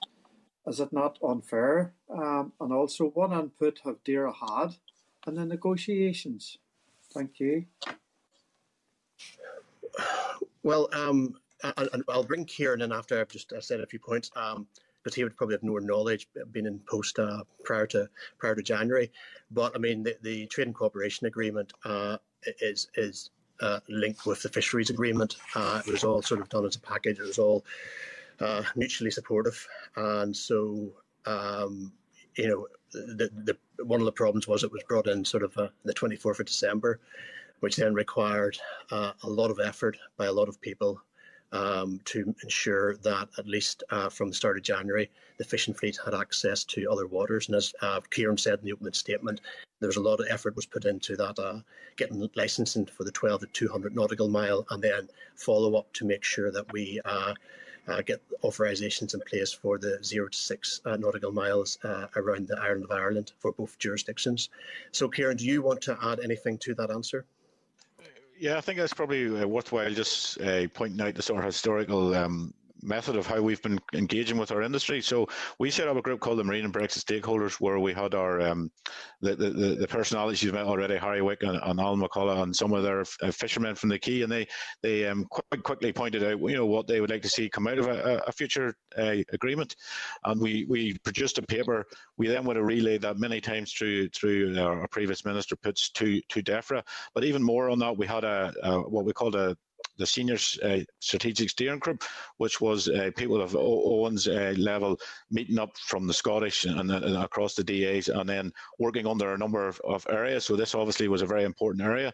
So um, Paddy Campbell, who's not here today, would be one of the key people that fed into that group. That would have met many, many times a week, um, obviously running into the, the, last day. So he would have been providing data. He would have been providing the, the, the, the outcomes that we wanted for our, our species because fishing isn't just a, a very, what would you say, specific to each area, or it, sorry, it is very specific to each area because we're all got very vested interest in the in the commodities that we catch. So if you look at our top ten, we're very focused on uh, prawns, obviously, um, uh, crabs, and obviously then uh, mackerel and herring. So we would have been making sure that we didn't have any uh, what they call it disadvantage in that. But just to give you uh, the background of how the negotiation works, so we had the opportunity to update DEFRA DEFRA are obviously the lead. So DEFRA uh, obviously then provided information to the UK government. So it was UK government officials that were leading on negotiations. And um, in, in areas under some elements of the protocol, we were we were um, able to, to, to be part of those negotiations. But in this actual bit you're talking about, right, we were we were much further back, but we were still able to be on the end of a line in, in various uh, forums to make sure that uh, as the thing was happening, we were able to, to make sure that we were consulted on. Um, but in the, in let's be honest, in the final days of the negotiation, that was really down to a UK EU negotiation, yeah. and what, what had been provided before is what they used to, to, to close that out. Yeah. Okay. Thank you very much. Very useful information. Would you say that um, the fishing industry are experiencing more financial burdens because of the protocol? Uh, um, well, Kieran, I'll let you go first, and then I'll give them a comment. Aye, so uh, if I was to maybe take on the trade, um, thankfully, under uh, because of some early sort of uh, understanding of the protocol, we um, did many sort of webinars with our industry to, to tell them, you know, how they could sort of utilize uh, the the understanding of it. So, for instance, um, some of the difficulties that are happening in GB are not as uh, prevalent here because um, there's no barriers between exporting from Northern Ireland to, to mainland Europe, um, and that includes going across the, the, the land bridge. Um, but to say that that was by providing them understandings of what they needed to do in terms of basically they needed to ensure that they did business as usual. Now there would be some difficulties, not to the not to the fishing fleet, but uh, or sorry, there would be if they land in, in, GB and then try to bring products home, because then when they do that, their products would be treated uh, similar to other GB products. So they would have to do various things like uh, export health certificates that I'm sure you've picked up in, in other forums. Mm-hmm. But generally, as I say, the, the, the fleet here have been able to continue to fish, whereas obviously in other parts of uh, or in GB that has hasn't hasn't hasn't happened. Okay. Okay. Thank you very much. Thank you, Deputy Chair. Thank you. All right, uh, William. Vessels, um, Northern Ireland vessels, fishing vessels, been able to land their catch in some of the trading ports that were designated down south. Has that been resolved? It seemed it was an issue. Like, seems strange that while seafood can be traded freely on land. Uh, there is a problem with some of these ports in the Irish Republic. What's the current state of play? Has that been resolved yet? Um, uh, uh, Deputy Chair, I, I, will respond to this one. So um, it, it, was obvious that uh, there was going to be an issue post-transition with the number of designated ports in the Republic of Ireland, and uh, we have engaged, uh, you know, at the official level, and uh, Minister Poots also had met with the DAFM Minister. Um, Northern Ireland had prepared for the transition period by designating seven ports to facilitate landings by EU uh, registered boats, and that's Foyle, Belfast, Bangor, Portavogie, Kilkeel, Ardglass, and Warrenpoint. And Kieran will keep me right if I, I got that wrong. But um, it's um, um, the, Ireland had only two uh, designated ports in uh, Killybegs and Castlebere, Castletownbere, and um, as a result of uh, you know engagement and obviously within the Irish uh, government uh, looking at this issue, they have since um, designated five further ports, and those are Greencastle, Burtonport, Rathmullan, Rossaveel, and Howth. And um, the uh, those ports were designated and came into operation on the first of February this week. Now, um, in some of those ports there are restrictions in place to do with uh, length vessel and to, for opening times and and so that may still affect some of the Northern Ireland fleet. Um, our Northern Ireland fishing uh, fleet or vessels has traditionally landed to other ports uh, such as Dunmore East when fishing in the Southern Irish Sea. And so uh, we have pressed that uh, the Irish authorities uh, consider looking at potentially other ports to facilitate, um, uh, you know, Northern Ireland fishing fleet and also, you know, trade on the island of Ireland and uh, we, we are wait what what will happen there. I have to say, at the meeting between the ministers, the DAFM minister, Minister McConalogue, uh, did did say that uh, these initial reports were based on sort of the data they had, and it was to make sure business, you know, was there was continuity of business, and if further information appeared, then they would they would relook at further designations. was landing times always an issue, or is this a new concept? Um, um, I think it's uh, um, it would be for the Irish authorities to, to, answer that question, but I assume it'll to do with uh, administrative resources to be able to uh, properly regulate landings at those ports. And um, if, if, this becomes an issue and uh, and uh, the fleet uh, make representations to ourselves, certainly we, we will raise that issue with the Irish authorities. So it's probably in relation to the protocol, then that's probably part of the issue, yeah. Uh, so, so, so uh, yeah, well, and I can give you. A, yeah. So uh, when you go to the legislation about designated ports, the first thing it talks about is uh, the correct infrastructure to allow the size of vessel to actually come to that port. And then once it's on the quay, then it's about the infrastructure. Should they need to inspect or, or, or, or further scrutiny needed? And then as Owen says, what is probably most important is actually the inspector resource available. Um, so if it's not like a, a port that's, because not every port has full-time inspectors in it. There, there, some of them are more risk-based because they wouldn't be as a frequent landing. So, and, and, really that's something that obviously DAFM would have to sort out in terms of having the, the appropriate resource. And they have an agency called this, uh, the SFPA who, who, deliver these services for them. So it's obviously trying to make sure that they can match all of that up to meet the demand. And, and, and if it's a port that's not actually very busy for their own fleet, then obviously at this moment in time they're probably not weren't maybe having the resources, but yet it may have had landings from our fleet. Um, and Rossaveel is one that whereby the Irish, the Northern Irish fleet fishing a place called the Porcupine Bank, which is well off the the the, the west coast of Ireland, but it's very um, prominent uh, prawn ground. So a lot of our boats do like to go over there and then land on the west coast and throw it home. So there's just a few, uh, you know, things to, to figure out how they can make that work for them. Okay. Listen, uh, thank you. Are you finished, William? Yeah, thank you. Thanks. Uh, Patsy?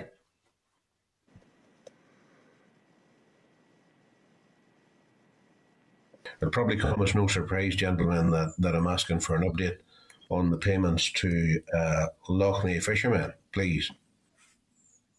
Um, so uh, last week uh, we had got the intent from Minister Poots to, uh, you know, how we'd progress this scheme. Um, events took a turn, obviously, on Monday and Tuesday with a new minister, uh, and now we have to um, brief the new minister on this scheme, and uh, that'll be progressed this week. And just um, you forgive me, but uh, I require a wee bit of detail in the process here. As last week it seemed to be a bit nebulous at one stage. Um, the uh, well, we, we got there eventually. We got there eventually. So you probably appreciate. I tend to ask questions till I get answers on. You know, um, the on this um, being presented to the minister is that being presented for an actual definitive decision to initiate the payments? We will be seeking uh, we will be seeking a submission. A submission will be prepared to go to the minister, seeking the decision on this scheme to progress. Yes, to to be able to make payments. And uh, once that once that is done, what sort of time frame would you be looking at? Um, it's um, it's it's listen. It's hard to say. Uh, I would my staff are ready to, uh, you know, whatever the minister decides, they're ready to work on that and get sure. that scheme rolled out the, the, and uh, allow fishers to be able to apply, uh, then progress that as quickly as possible, the assessments and the applications. No, well, uh, sorry. forgive me for saying this because I'm having a lot of problems at the moment on behalf of constituents, not with DAERA, but with Department for the Economy and slowness of payments getting out. A lot of difficulties there, and people are getting it seriously very difficult. So, um, is basically what I'm trying to establish here on is once decision is taken by minister, is the website or whatever uh, method of application that, that you have for this, is that just good to go live and applications ready to be invited? Um, well, the answer to that is no, because we have to still await what the instruction is from the minister. And once that instruction is prepared, we will ensure then that administrative process is updated and uh, forward to uh, applicants as, soon as possible. I, am sorry I can't give any more definitive. I, I, I, don't know. The minister will see this for the first time and he'll have to give us his, instruction to us. And then, you know, hopefully uh, we're, we're, pretty much there, but I can't uh, make any statements for the minister until he's seen this scheme. Well, have you sufficient staff? Now, this is also a problem which is over the Department for the Economy. Have you sufficient staff adequately trained in the methodology of handling applications? Um, we are prioritising where the need is. So um, when this decision is made, we will be prioritising staff to address this to ensure that uh, you know letters of offer uh, or applicants are assessed and letters of offer uh, get out as quickly as possible. Um, you know we are covering a lot of issues as you've seen in the written statement. Uh, we have a lot of staff uh, spread very thinly, and we are reassigning staff to where the priority is to, to address issues. And this will be a priority once we get a decision from the minister to, to, to get this rolled out. Okay, dead on. Thank you. Okay, thank you. Uh, nobody else has indicated, so uh, I just want to thank Owen and Kieran for coming along and, and, and taking our giving their presentation and taking our questions. So uh, you're free to leave now. Okay, so we're just going to move on then to the next item, uh, seven, uh, the departmental written briefing on the SI, the Common Fisheries Policy. Uh, can I refer members to the memo from the clerk at pages 22 to 24 and the written briefing from the department at 25 to 34 of table papers? Can I just advise members that we have received the following message from uh, the department late last night? The written briefing of the Common Fisheries Policy Amendment EU Exit Regulations 2021 CFP 13 was cleared by the previous Minister. Minister Lyons has instructed officials that he requires further information before he is content to allow officials to discuss this matter with the committee. So, uh, members, can I advise that in the light of this, I suggest that we do not take this uh, agenda item today? Okay. That, that's fine, Chair. Yeah, ground. Okay, so we'll just move on then to item number eight. Uh, departmental briefing on the budget for 21-22 uh, and the monitoring round. So can I advise members that the department has not provided any papers for this agenda item members will find uh, the two written statements made by uh, the Finance Minister on the January monitoring round at pages 36 to 54 of the table papers. Uh, this is for information. Uh, can I welcome via StarLeaf David Reid, uh, Director of Finance, Linda Lowe, uh, Head of Financial Planning, Roger Downey, Deputy Finance Director. You are all very welcome. Can I ask officials to explain to the committee, firstly, uh, why no budget papers have been provided, and secondly, why there were no bids uh, made by the department in the January round? Um, thank you, Chair. Can I just check to see that everyone can see and hear me okay? Well, I can hear uh, uh, David. There, your picture's not great or it's non-existent, but I can hear you. Apologies. Look, I'll turn my video off just um, just to ensure the the, the signal stays uh, stable. So apologies for that. Um, first off, thank you for the opportunity to provide an update on the draft budget 21-22 in relation to DAERA. Um, you'll be aware that the Chancellor announced in a statement on the 25th of November that the spending review would be for one year only, and that is the basis upon which the Executive has considered its draft budget. Members will also be aware that the Executive has agreed the draft budget for departments and the Department of Finance has launched the consultation on the 18th of January. The consultation closes on the 25th of February in order to have budget in place for the beginning of the new financial year. On resource, the draft budget has allocated 544.2 million for DAERA, and I can confirm that this is mainly the rolled over baseline from 2021, plus two additional elements, which include EU CAP replacement funding of 315.6 million and EU replacement fisheries funding of 3.1 million. On capital, the draft budget has also allocated 95.5 million from a zero base for DAERA, and this is only marginally less than the 98.5 million that we received at opening budget uh, for 2021. Since the executive's agreement of the draft budget allocations, DAERA has been working extensively internally to firm up the implications of this with business areas across the department and with Minister Poots. This has been an, an, iterative process, and we had hoped that this would have concluded by yesterday to allow me to provide more comprehensive briefing to the committee um, and also to allow us to publish a supporting document on our website. Unfortunately, Minister Poots had to step aside for health reasons earlier this week, and the proposals had not been finalised prior to his departure. It is therefore for the new Minister, uh, Minister Lyons, to consider and agree these proposals, and the timing for this will naturally take a little longer as he has to be given time to get up to speed with the impacts of the budget for next year. Um, and I intend to provide further information to the committee after that's agreed. Turning to this year, you will be aware from my January monitoring briefing and uh, the oral briefing that was provided last week that the department did not make any COVID-19 bids in the last monitoring round of the year. Um, since then, we have been engaging extensively across the department to determine if further funding can be used to alleviate the effects of the pandemic on our stakeholders. You will be aware that DAERA has secured an additional 41.7 million COVID-19 funding from the executive earlier in the year. 25 million of that was to provide market interventions in the agri-food sector, and 15.2 million was provided to assist the councils with their higher, higher waste collection and disposal costs, and 1.5 million was also provided to the fisheries sector. A further 2 million was received from the Department of Health towards the cost of AFBI COVID-19 testing. The department has also been proactive in reprioritising its funding to help rural communities who have been affected by the pandemic and is currently providing significant grant aid to rural businesses through three different schemes to assist with COVID-19 recovery. Firstly, the Rural Business Development Grant Scheme is being delivered in partnership with all 11 councils and 633 letters of offer have been issued to rural businesses to the value of £2 million.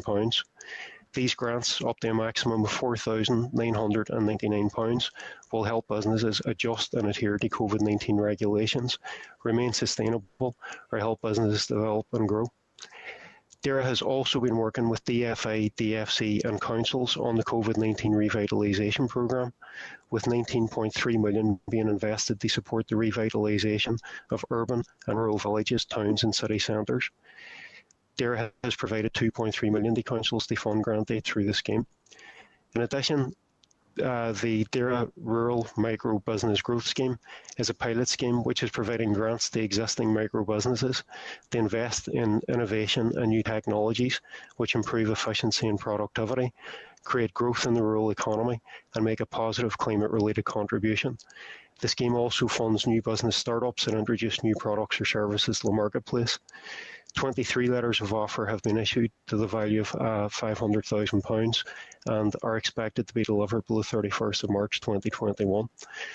The department has therefore across the year been very proactive in securing additional COVID-19 funding and then working with a wide range of stakeholders to ensure that that funding reaches those most in need. The issue in making further bids at this late stage in the year carries with it two key considerations. Firstly, we have to be sure that there is a demonstrable and evidence-based need to support any funding request but we also have to ensure that any funding can be allocated to recipients by the 31st of March.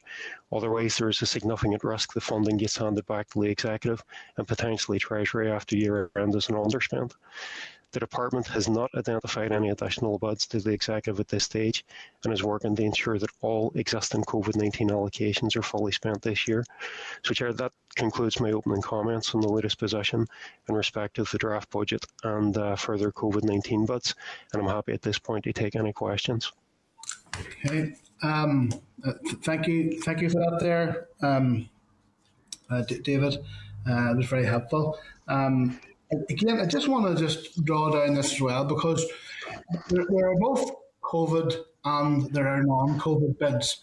And you know, when we look at the different annexes that have been provided to us uh, by, uh, you know, written to all of the departments, you know, I suppose it's, it's, it's a fairly obvious question. You know, how how can other departments like, for example, I see that the Department of the, Communities there, for example, has got funding for NIHE estate, and there's various other examples right, right across the, the different departments here, both COVID and non-COVID bids. You know, and, and I just think that you know the,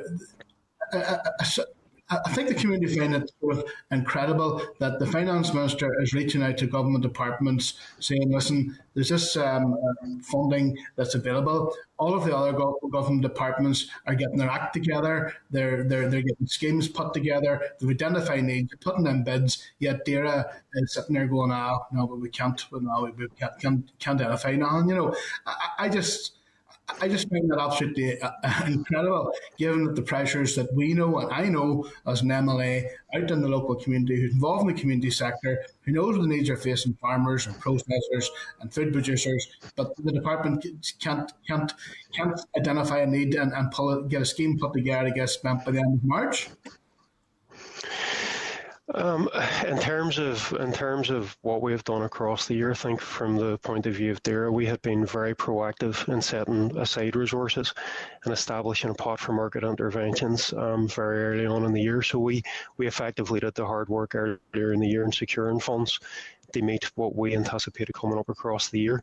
Um, and at this stage, we haven't identified additional needs or requirements um, that we uh, feel require us to make further further bids. In addition, I think it's probably also worth note worth, worth pointing out that in relation to the the TRPSI program, um, we initially had a, an opening allocation across uh, capital and resource, and I'll just ask my colleagues to confirm the figures um, in a minute, but we initially had an opening allocation of about 4 million, and that was increased to over 11 million, and that's allowed us to, to uh, carry out a number of interventions. In terms of um, in terms of the work that we've done in the last um, number of weeks, in terms of engaging with councils, with stakeholder groups, um, we haven't been in a position where we've been able to identify further requests or evidence-based needs that require us to make any additional um, bids for funding. Um, so on that basis, like I mean, as, a, as, as I had pointed out, we don't feel we're in a position to submit further requests for funding at this stage. And you see, just before move on, because Rose was looking in here as well, you know, obviously, the, you know, January monitoring happens every year. You know, this this isn't the first year there's been January monitoring. Is that not something that the department would have um, sort of preempted coming down the line and, and uh, uh got some sort of a got scheme uh, schemes identified where they potentially could bid to improve things? Because you know, uh, like one of the one of the examples that the, that, that I when I admitted last week, but certainly in conversation was, you know, like what, what would stop the department making a bid to, to provide a single farm payment top up for example, to to farmers in, in less favoured areas. Well, what, what would stop that happening? You know, why could you not identify that there as a need? Because clearly it, it is a need, given the level of incomes that they receive and the fact that uh, uh, that, that, they're very beginning of the food food production line. You know, what, what, what, why, why could that not be identified as a need and, and measures put in place? Because you have all the information there. You know, why could that not happen, for example? In terms of uh, in terms of uh, think of like firstly in relation to less favored or less favored areas or, or hull farmers, I'm not like minister consulted widely with a range of industry stakeholders across the year and representatives on a regular basis um, they discuss concerns and consider proposals and what sectors should be uh, supported and targeted those sectors where there was verifiable evidence of financial losses as a direct result of the pandemic. The impact of COVID-19 on market prices for like finished cattle and sheep was largely between mid-February and late May um, and a number of whole farming businesses sold eligible cattle in the period between mid-February and the end of June and would have received payments from the COVID-19 beef sector support scheme. Some stakeholders and individuals had indicated um, that whole farmers had received low prices for their produce and private sales during the time livestock markets were closed, but there is no verifiable statistical information available that would allow us to support this. By the end of May, the impact of COVID-19 on market prices for cattle and sheep had largely dissipated, with prices rising above pre-COVID-19 levels. And these strong market, market conditions have prevailed uh, throughout the, the remainder of the year. So the majority, as far as I'm, i understand it, a majority of hull farmers market their cattle and sheep from late summer through to the autumn when grazing conditions deteriorate. So most sales took place outside the period when COVID-19 had impacted the market and during a time when market prices have actually been very buoyant. Um, so that's kind of the position we're in at the minute in relation to the um, hull farms in less favoured areas. So at this stage, um, we haven't been presented with verifiable evidence that would allow us to justify making a, a top up on that basis. And what about the non-COVID bids? In relation to non-COVID funding, I mean, we monitor our finances extremely closely across the year, and without um, sort of looking back the previous years in any great detail, I mean, typically we don't submit significant bids in January monitoring because we work to try and um, we, we work to try and ensure that our funding requirements for the for the year ahead are kind of finalised and pinned down early on in the year.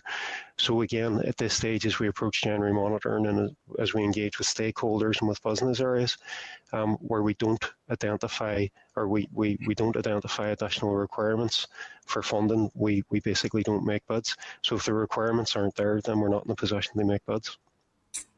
Thanks. Um, okay, I'm going to move around Rosemary. Rosemary? We can't get Rosemary. Can we bring Philip in now, then we'll come back to Rosemary? Oh, sorry, Rosemary. You're Rosemary here now. Oh, Rosemary. Just to carry on, Declan, um, on the question you asked um, in relation to the extra money, um, there there has been concern in relation to the price paid out for wool fleeces. In fact, where it has been costing farmers more to have their sheep clipped than what they were getting for the wool fleece. Was there not a possibility there of them perhaps getting been getting some additional help? Uh, yes, I mean, officials are aware of the challenges faced by wool producers, and Minister Poots has asked officials to reassess the case for support. Um, and as I understand it, officials are engaging closely with the sector um, at this point in time. But as I mentioned earlier, we had uh, established a fairly robust pot to cover requirements for the for the remainder of the year. And in terms of the level of support that we would anticipate coming out of those um, discussions, we would be content that we have sufficient resources within the department to cover that. So again, this reflects um, back on the fact that we had established requirements um, or established a, a, strong pot for COVID interventions for the remainder of the year, um, which again puts us in a position where for things like interventions in relation to wool producers, uh, we don't anticipate a level of funding being required that would go beyond what the department can currently cover. Okay, okay. Thank you. Now, um, one other th- one other further thing, I want to look at the ring fenced resources for 220 221. In the October monitoring round, you had 25.3 million. And now in the January mon- monitoring round, that has gone down by 5 million. Can you can you elaborate and say why there's less and where the changes have come about? I'm sorry, could I just pass that question over to Roger? Um, Roger, I think that's in relation to our depreciation on cash costs. Yes, uh, that's correct. The the ring fenced resource is a particular uh, budgetary category for depreciation, uh, which, as David says, is non cash. And that was following the um, we, uh, the reassessment of the application of um, an accounting policy on our IT systems, um, which we, we would take an annual uh, relifing um, uh, exercise across our asset base each year, and uh, less depreciation was required. Uh, on a number of assets, and that and that led to an easement in those areas. So I think it was 4.4 million um, was as a result of that exercise, and a further half million um, to bring it up to around the 5 million that you mentioned, um, was to do with a transfer of depreciation for Ballykelly House. Um, and that uh, that transfer went to the Department of Finance. Okay, so so we've less money then. That's okay, right? Right, um, Philip. Thank you. Uh, just, I mean, I know we're talking about the budget next week, uh, and this is in relation to the monitoring round. And I, just following on from yourself and Rosemary, Chair, I, I do think that the lack of bids shows either a, a either a lack of preparedness or, or possibly ambition. I mean, you, you and Rosemary have uh, identified groups, uh, particularly within the farming and agricultural sector, uh, who, who, who probably could have done with money. And, and I'm, I'm talking beyond COVID here. But I mean, we, we took briefings months ago where money was handed back in relation to climate action. Uh, I mean, there, we're losing over 33 million from RDP funding, you know, their environmental schemes that, that won't go ahead.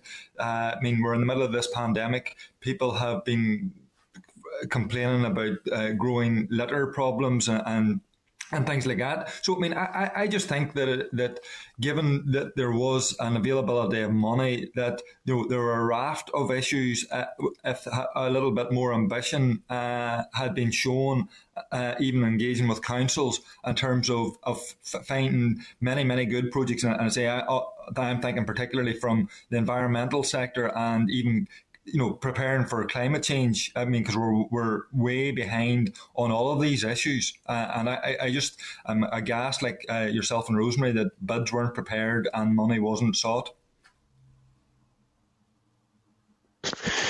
So, firstly, um, in relation to you'd mentioned specifically litter and uh, waste, um, we secured an additional 15.2 million um, that we provided to councils to support additional costs that they were experiencing as a result of the pandemic.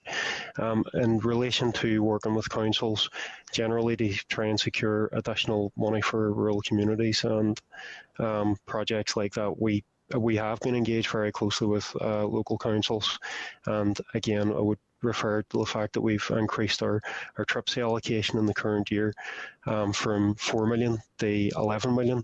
So there was a significant amount of additional funding um, secured in relation to that. Um, in relation to uh, environmental matters and climate change, um, I'm just not I'm not too sure what else I can add at this stage. I'll just ask uh, Roger and uh, Linda if there's anything they would like to add on that. I think we did go um, round across all business areas to see whether any more bids um, following January monitoring. And uh, I know there was engagement on the MFG side with our environmental stakeholders, and uh, we already provide them with funding through the Environment Fund. And again, I think we're caught uh, a little because it's this late stage in the year. You know, we're already into February, so there's only um, say six or seven weeks left to spend money. So there's uh, these groups already have money to spend this financial year, and uh, I suppose because everyone's in lockdown as well, there's difficulties in, in getting additional yeah. money spent on top of what they're already spending this year. So uh, that that's part of the reason why there why there are no no bids coming forward in that area.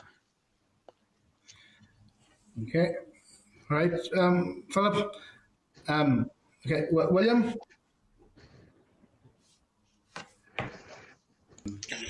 In relation to, um, has there been a bid made for support, COVID support for zoos? There's a number of zoos, not a large number in the Northern Ireland, but I have one in my constituency. I've suffered horrendously. Uh, is there any bids made in relation to funding for them?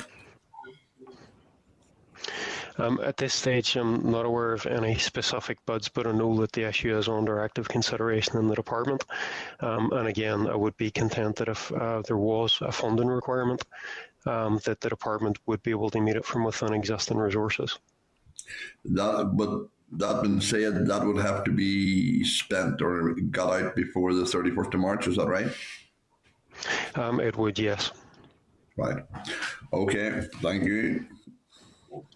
Okay. Um, just before we just conclude here, um, I just I still, I still, I still find this incredible that at a time when the finance minister issued a statement there on Tuesday, two days ago, saying that following allocation there remains 251.1 million resource, DEL, 25.9 million capital, and 55.7 million financial transactions capital available and he uh, has I continue to urge the minister to come forward with proposals to spend money and goes on to specify the agriculture sector.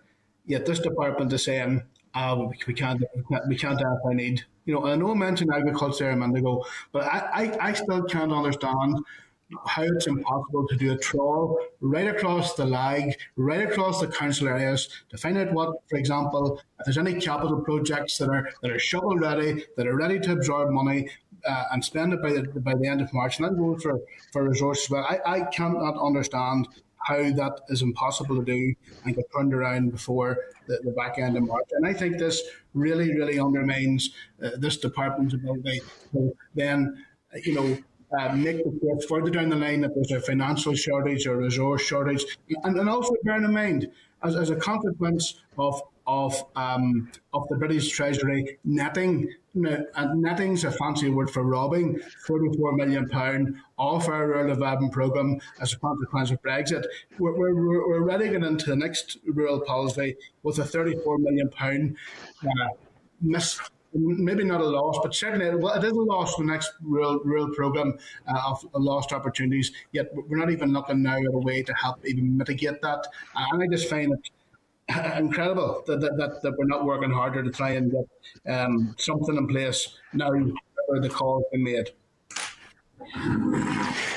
I'm sure in relation to the issue, firstly, in relation to the issue of um, netting off the the impact of that basically begins in the next financial year. So, in relation to the RDP spend, um, there's no negative impact in the current financial year um, as a result of that issue.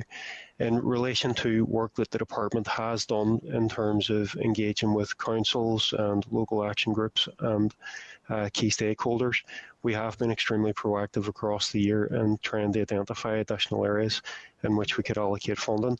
And again, I would refer to um, some of the specific things that we've taken forward that have allowed us to increase the amount that we're spending in TRPSI. Um, by um, an additional uh, uh, an additional seven million. So from our point of view, like I'm I'm content that we we we have. Um, undertaken a, a, lot of additional work in the department, engaging very, very closely with stakeholders to ensure that where needs have arisen, um, that those are identified, evidence-based, and the funding is secured to meet those needs. Um, and in terms of where we're at at this point in the year, I'm not aware of anything that has been raised that we're not funding um, where there isn't evidence to suggest that that, that, that that should absolutely be funded. No problem. Well, thank you for that, um, David and Linda and Roger. Danny, uh, Roger, thank you very much for that there, um, for answering all of our questions and for your presentation. Um, so thank you. Okay. Um, thank you. Members. Thank you. Okay, no problem. You are very welcome. Uh, Okay, uh, one note that the agenda item on the budget uh, on the budget will now go back onto the agenda for next week's meeting, which will start at half nine in order to accommodate the briefing. And the committee will then agree its response to the DAERA budget, which will then be forwarded to the finance committee after the meeting. Um, okay, uh, I want to advise members that the next two agenda items, there will be one briefing from the department to cover both SL1s. The committee will then consider each S consider each SL1 separately. Uh, so this is item nine, uh, departmental oral briefing. SL1, the direct payments to farmers, simplifications regulations NI 2021. I want to refer members to papers from the department at pages 21 and page 85. I'd also like now to welcome by StarLeaf Rosemary Agnew, uh, Director of Brexit, and Mark McLean, Principal Agricultural Econ- Economist. And I want to invite the officials to begin the briefing on both of the SL1s. Rosemary and Mark, is there? Can be brought in?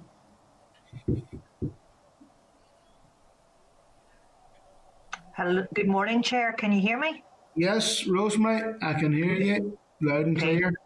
Thank you. Um, and I think Mark is just joining. Um, so uh, if content, Chair, I'll, I'll begin. Um, morning, everyone, and thank you very much for the opportunity today to present the Direct Payments to Farmers Amendment Regulations Northern Ireland 2021 and the Direct Payments to Farmers Simplification Regulations Northern Ireland 2021 to you for your scrutiny. Um, Department intends to make both of these regulations under the powers confer- conferred by Schedule 6 and Section 53D of the Agriculture Act 2020. Both regulations will be laid before the Assembly under the draft affirmative resolution procedure, and a debate in the Assembly is currently scheduled for the 22nd of February. Subject to the outcome of that debate, we would anticipate that they will come into operation on or before the 1st of March 2021, which is the opening of the application period for those schemes um, this incoming year. By way of background, Chair, as you're aware, United Kingdom leaving the EU and the Common Agricultural Policy is one of the most significant changes in policy affecting the agri-food sector in over 40 to 50 years. It means our policies no longer have to be constrained by the existing CAP Pillar 1 and Pillar 2 construct and gives us the opportunity to develop, new, to develop new approaches and support systems which better address the needs of Northern Ireland agriculture, the environment, and rural communities. In Northern Ireland, direct payments are currently worth over £293 million annually. As you'll aware from be aware from recent briefings, department continues to look at what future payments can do to support farming and rural communities while supporting the sustainability and profitability of farming and the environment. These will all take time to develop, and while they're being developed, it is important that we are able to continue to make payments under the existing schemes, as well as review our approach with the aim of implementing simplifications wherever possible that are in keeping with the longer term direction of travel announced by Minister Poots on the 17th of November in the Assembly. So, turning to the first of the regulations um, today, the Direct Payments to Farmers Amendment Regulations Northern Ireland 2021. This legislation um, amend or amendments introduced by this SR will maintain the status quo as far as possible and are largely technical in nature. There are no substantive policy changes being made by this SR, and farmers will see no change on the ground as a result of this regulation. The direct payments regulation contains financial ceilings which are used to calculate direct payments to farmers across the United Kingdom. However, it only includes financial ceilings up to and including the 2020 claim year. This SR specifies the manner by which DAERA will continue to determine the annual financial ceiling to calculate payments beyond 2020 in Northern Ireland, and the ceiling for each future year must be equivalent to Northern Ireland's share of the UK national ceiling specified in the Direct Payments Regulation for 2020. As we move forward, the ceiling will no longer be specified in legislation but will be determined administratively. Setting the ceiling in legislation is no longer necessary given the context of allocating funds to EU member states is no longer applicable. This change will not alter the amount of money being paid to farmers and the department will remain constrained by the Treasury allocation. Um, and that's something which we discussed, I think, at length at the committee last week. The SR makes a few other minor amendments to ensure the schemes can operate effectively beyond 2020, including replacing some dates with dates which were specific to the 2020 scheme year with equivalent dates which are not year specific. It also removes from the EU retained law provisions which are not applicable in Northern Ireland. It similarly removes provisions which are no longer operating in Northern Ireland, such as the requirement for beneficiaries to meet negative list rules for active farmer and the ability to make payments in euros. Other amendments remove provisions which are not relevant beyond 2020, for example. And, and an example of this is that the SR removes rules concerning the transfer of funds from the 2020 direct payment budget to that used for rural development measures. What used to be the old interpillar transfer is no longer relevant because we have one combined budget. We have one budget rather than two. Um, Chair, um, if I could move on then to say a little bit around the direct payments to farmers simplification regulations for Northern Ireland 2021. These regulations give legal effect to the simplifications um, that Norman Fulton and I presented to the committee on the 19th of November and that Minister Poots announced in the Assembly on the 17th of November. The simplifications are intended to make the direct agricultural support schemes, the basic payment scheme, for example, simpler for both applicants uh, and for those administering the schemes, and to provide a simplified base as we move forward to a new Northern Ireland farming policy. Within the regulation itself, Part 2 removes the greening payment, with the money being incorporated into the basic payment scheme. The requirement not to plough environmentally sensitive grassland is retained, as you can see in Article 32A. Part 3 limits the number of entitlements that can be allocated from or increased in value from the regional reserve to 90 for a young farmer new entrant. This brings it in, into line with the 90 hectare limit for the young farmer's payment. It also removes eligibility of a farm business young farmer for the young farmer's payment after three unsuccessful applications from the 2022 scheme year onwards. Part 4 of the regulation makes a change to the over-declaration penalty, so these penalties cannot exceed the amount of payment due to the prior penalty being applied. Part 5 removes the concept of a cross-border holding within the United Kingdom farms with land in more than one UK region will make separate applications to each paying agency and will be paid separately. Part 6 changes the amount at which payments are capped from €150,000 Euro to £190,000 sterling. This is a technical change to reflect, reflect the fact that capping did not apply to the greening payment and these amounts have now been incorporated into the basic payment. The aim is as far as possible to have a neutral impact as a result of capping, in that the same number of applicants would be affected in the incoming year as in previous years.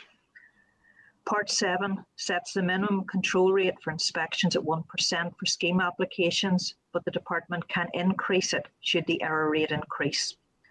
Part 8 makes some technical changes to the provisions on coupled payments, which allow the DAERA Minister for example, to introduce a coupled protein crop payment in 2021. Finally, Part 9 makes some consequential changes to the direct payments regulation. It removes the 3% limit on the increase of the direct payment ceiling, which gives the department more flexibility to maximise expenditure um, of the Treasury allocation for direct payments. Together, these are very, two very important statutory rules they will ensure the continued smooth delivery of direct agricultural support to farmers. We very much welcome the opportunity to present these to you today and welcome your scrutiny of them and again highlight that they are scheduled currently for um, debate in the Assembly via the draft affirmative procedure on the 22nd of February. Thank you, Chair. Thank you, Rosemary. Um, uh, uh, detailed. Um, there's a couple of a couple of wee things I want to just um, ask here. Um, I'm just thinking there. You know, there, there's we're, we're talking about we're, we get the two pillars because we're out of the common agriculture policy. We don't have the two pillars now. There's there's there's effectively one pillar and one budget. Now, in the in in the former EU uh, rural development program, uh, uh, in the former common agricultural policy, pillar one was your basic payment, your single farm payment, and pillar two was your agri your agri environment schemes, your ANCs, and all of the other schemes. So, with with no progress on the UK Shared Prosperity Fund, and with the money being netted uh, from uh, from last year into the, next year, where where exactly where exactly is the fund going to come out of for all of the other farming activities as well as the basic payment? And is there is there a danger? Is there a danger then that we could be looking at um, effectively what would have been modulation or or, inter-pillar transfers uh, because we're, we're, we're, a diminution of the direct payment because what, what's going to pay for all the other what's going to pay for a future farm business improvement scheme a future uh, environmental farming scheme? What, what, what, how, how's that going to be paid for uh, if, if we don't have any funding um, uh, against uh, a, a, new rural development program? Okay um, chair just to re- recap on some of, of what we discussed last week because i think it's relevant um, to help respond to your queries. Um, the allocation from Treasury um, for the incoming year of 315.6 million is resource funding. It's not capital allocation. Mm-hmm. So the funding for capital projects in the future will come from elsewhere, from, from separate bids. But having said that, I need to be very clear that um, any loss of funding, and, and you've referred to that over the next three year period um, within the allocation, will not impact on the current rural development programme. That is fully funded and fully funded to its end 2023 to run to its completion. So it is currently fully funded. As we move forward, um, and you've heard Minister um, discuss his vision for future agricultural policy around an, uh, outcomes that will deliver increased productivity, environmental sustainability, improved resilience, and an efficient, uh, transparent, competitive supply chain. It's really taking the farming policy collectively um, and looking at that. The allocation that we have received must support farmers, land managers, and the rural economy. And future presentations to this committee will come forward with the proposals around all of those things and I suppose all I can say to you at this stage is we're in a new environment. We don't have separate budgets now in what used to be Pillar 1 and Pillar 2. We have one budget, and there will have to be difficult decisions made as we move forward with respect to where that money goes.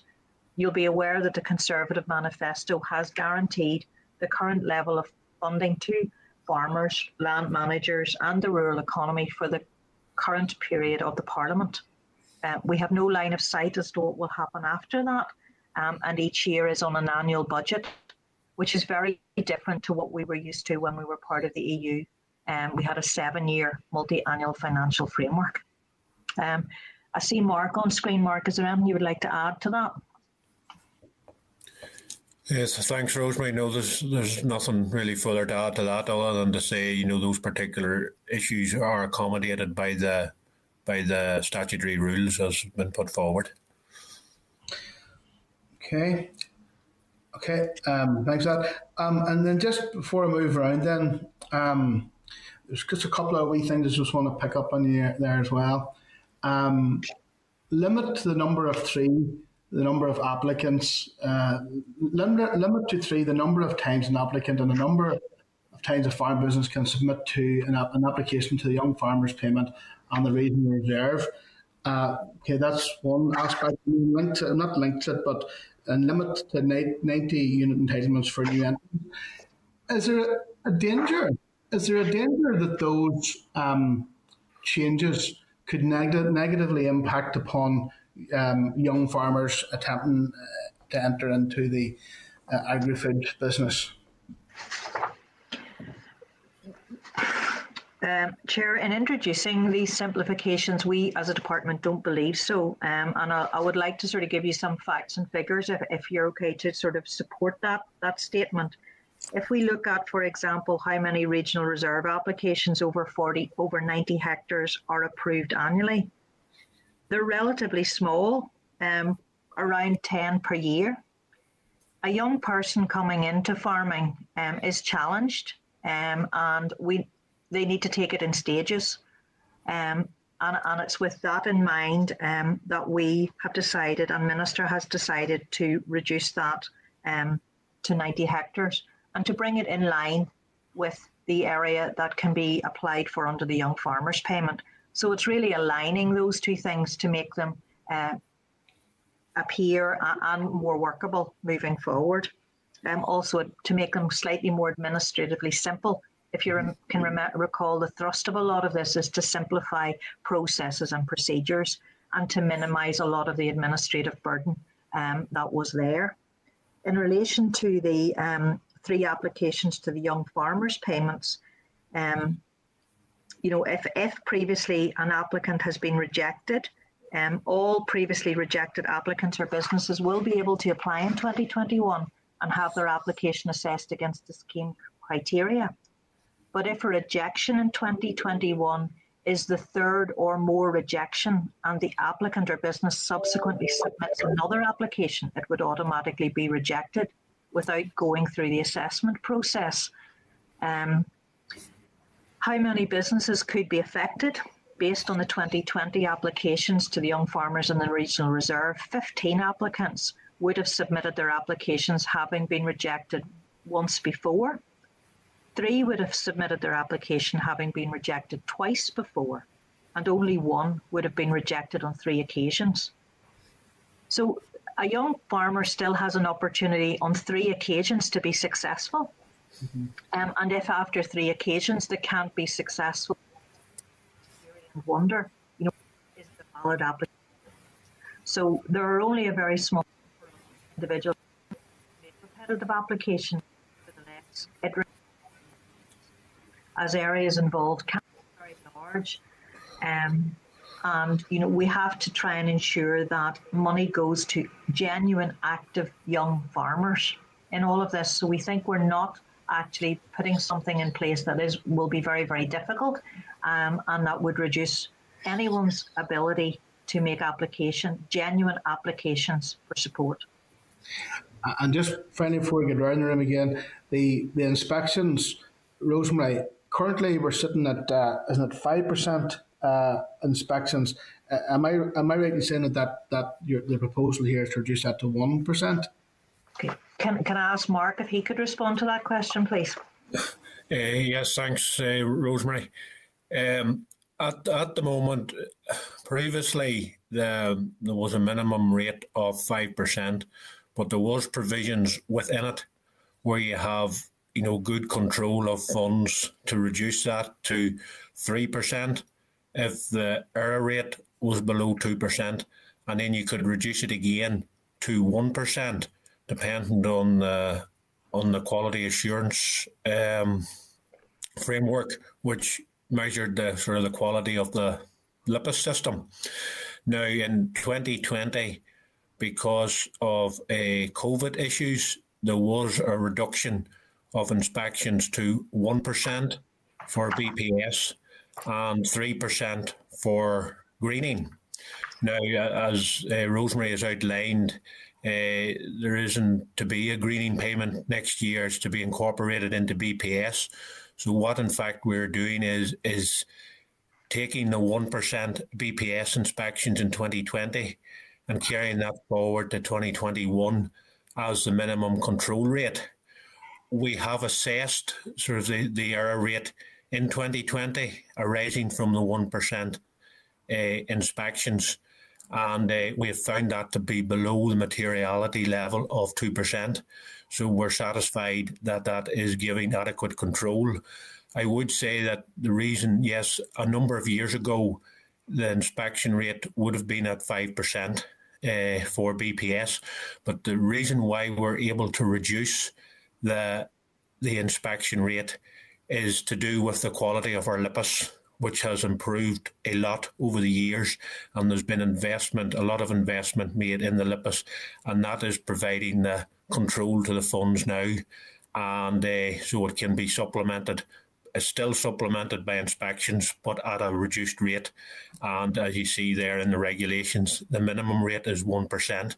And should circumstances change or the error rate rise, then we can increase the inspection rate uh, accordingly. That's thank you, Mark. That's very helpful. Um, going to move on right here. Uh, Patsy, Patsy McGlone, you brought into focus here. Yeah. On air, Chair? Yeah. Yeah. I, Chair, I was just going to pick up on the very point you picked up on there as I was reading through it. That's about uh, three times and you're out, three failures and you're out, and, and sort of is. I don't know whether the department's trying to get the balance between that. Uh, on the one hand, trying to say to people, um, if at first you don't succeed, try, try, try again, and that's it. Or uh, if you're trying to send the message to people, the, the old saying, if uh, if you're trying doing the same thing over and over again and expecting a different outcome, well then it may be a definition of insanity. I don't know. I don't know where your balance is in between that. But um, but does that not take account of the person who has changed circumstances? Uh, that's that's the first thing. Um, that it's just it's a technical thing, but it was running through my mind there. If a person has changed circumstances, changed farming circumstances, maybe an acquisition of uh, extra farmlands or indeed that the activity that's operational as a defined active farm has changed and thereby altered their circumstances. So, so I'm just a wee bit concerned that um, they've tried three times in the field and then circumstances change. Um, wee bit concerned about the, the area that may be taking us into. But um, the other bit was um, we did learn last week that about the, the whole question of the ceiling, the financial ceiling on uh, the payments. Now, I was just working out if if there's no account taken of inflation, I just did a quick ready reckoner there of inflation over the years 2017, 18, and 19, and it works out at 2.32%. Now, that to my calculation would mean a loss in real terms of 6.96 million, almost 7 million uh, to, to farmers by way of income. Uh, what what uh, calculate or what um, should we say, maybe substitute measures financially have been taken at the department or consideration to those at the department to supplement that almost 7 million that potentially could be lost. It's a projection, but it's an average projection based on, on uh, that average of inflation over the prior three years. Okay, uh, Patsy, thank you very much for those questions. Um, I think you know all I can reflect back to you in relation to the three years, and and you're out sort of a, a approach. Um, whilst probably not as direct as that, the department is seeking to achieve a balance to allow those young farmers into the schemes, whereas those that will continually try and never achieve anything to try to reduce the nugatory work on their behalf and the nugatory work on the department's behalf. Mm-hmm. So it's about bringing in genuine new farmers I think on the particular issue you raise about, well, if someone has had three attempts and out and then their circumstances change, you know, that's a very valid question. And I think that would have to be looked at on a case by case basis. Because if, if there's a genuine reason why someone's circumstances change and they should avail, be able to avail of support, the department isn't um, out to try to say just because you've applied in the previous three years, you're now out. It's really the recurring year on year. So you applied in the previous three years, you've now applied in the fourth year. But if there's a genuine reason, the department will look at that, and hopefully that reassures you a little bit around changed circumstances. Um, but all of that has to be looked at in the round. If, if, I could come back on it, but the legislation doesn't necessarily say that. Uh, the legislation no looking at is if you've applied three times, you're gone. Uh, so how, how then can the legislation and its application be accommodating of a genuine situation where that may happen? I know it's not, going to be a huge number of cases either, but if if the legislation is just as clear and black and white, you have played three times, bye bye lollipop, you're gone, and don't be coming back near us again. we know that in the real world that often isn't the case. Well, I think all I can say to you in response to that is we have looked at the applications that the department has received, and there's only one application um, that has applied in the last in 2020 that would have been rejected on three occasions. So overall, it is a very very small percentage. Um, this is a statutory rule for the incoming year. I think if, if we perceive difficulties and we see difficulties, there are opportunities to make amendments to that legislation as we move forward in each year because these are annual schemes. Um, so I think if something comes to our uh, in front of us, we will look at making amendments to the legislation to correct any deficiencies within that. Um, I see Mark moving forward, but I want to bring Mark in a few minutes on let on inflation. So if I can move on to your inflation comment, and maybe Mark, you could pick up on any comments you have on young farmer applications as well as the legis or the inflation comment. Uh, Chair, you're right. Um, there is no inflationary uplift on those ceilings or the budgets moving forward. But again, there were no inflationary uplifts on any of the EU funds either when we were part of the EU. So you could argue that it's a similar approach that we were used to under the EU. I know you've just had a presentation on future budgets and are due to have another one again next week, but I think the department will take every opportunity where it sees a need to increase or an opportunity to increase the future funding ab- available to farmers, land managers, um, or um, the rural communities moving forward. Um, I note the chair earlier mentioned the Shared Prosperity Fund. We still await details of that. There's also the Peace Plus Fund in terms of future support for rural communities, and the department will take every opportunity to try to maximise the money that where a need is identified to address yeah. those needs. If I can, Patsy, hand over to Mark because I think Mark wanted to make a comment around um, three times the three times issue, and if I can also ask you, Mark, if you have anything to add around inflationary uplifts. Yeah, Chair, if I could just maybe comment on the on the young farmers issue and the limitation to three unsuccessful applications. Like what we do find is that people can apply for the young farmers payment and they find they're rejected, for example, because of their circumstances and they don't meet the head of holding requirements and it's outlined to them why. Now, there's, there's no issue there. They may again apply in the following year or maybe in a future year where they change their circumstances and they become head of holding. And under what's proposed in the regulations, that's perfectly possible. And indeed, if they get rejected for the second time, they can again consider it and apply again. But um, I think when whenever we're getting to the third time, you know, are circumstances then going to going to change, or is it just repeated up applications with yes. the same information over and over again, with the hope that uh, maybe they might get a, a different a different decision? Now, I have to say, I don't think we've ever come across, you know, applications being repeated with changed circumstances, and as Rosemary has outlined, we're down to very, very small numbers. So I oh. think if anybody, you know, it's going to be very, very small, anybody gets affected. And I can't really see that it's going to be a case that after three rejected applications, there's going to be changed. There's going to be changed circumstances. But as Rosemary says, if that starts to arise as an issue, then we can certainly look at the legislation again. On the inflation point, really, since direct payments were conceived by the EU in their current form uh, from 1993, there's never been any inflationary increases, and indeed, there's no inflationary increases planned for the EU right up until 2027 at the you know at the earliest. So that just hasn't been the case. But if the Treasury approach was to change and their budget allocation, was to change in the future, then the regulations can accommodate that. Okay. Okay. Well, that's Patrick.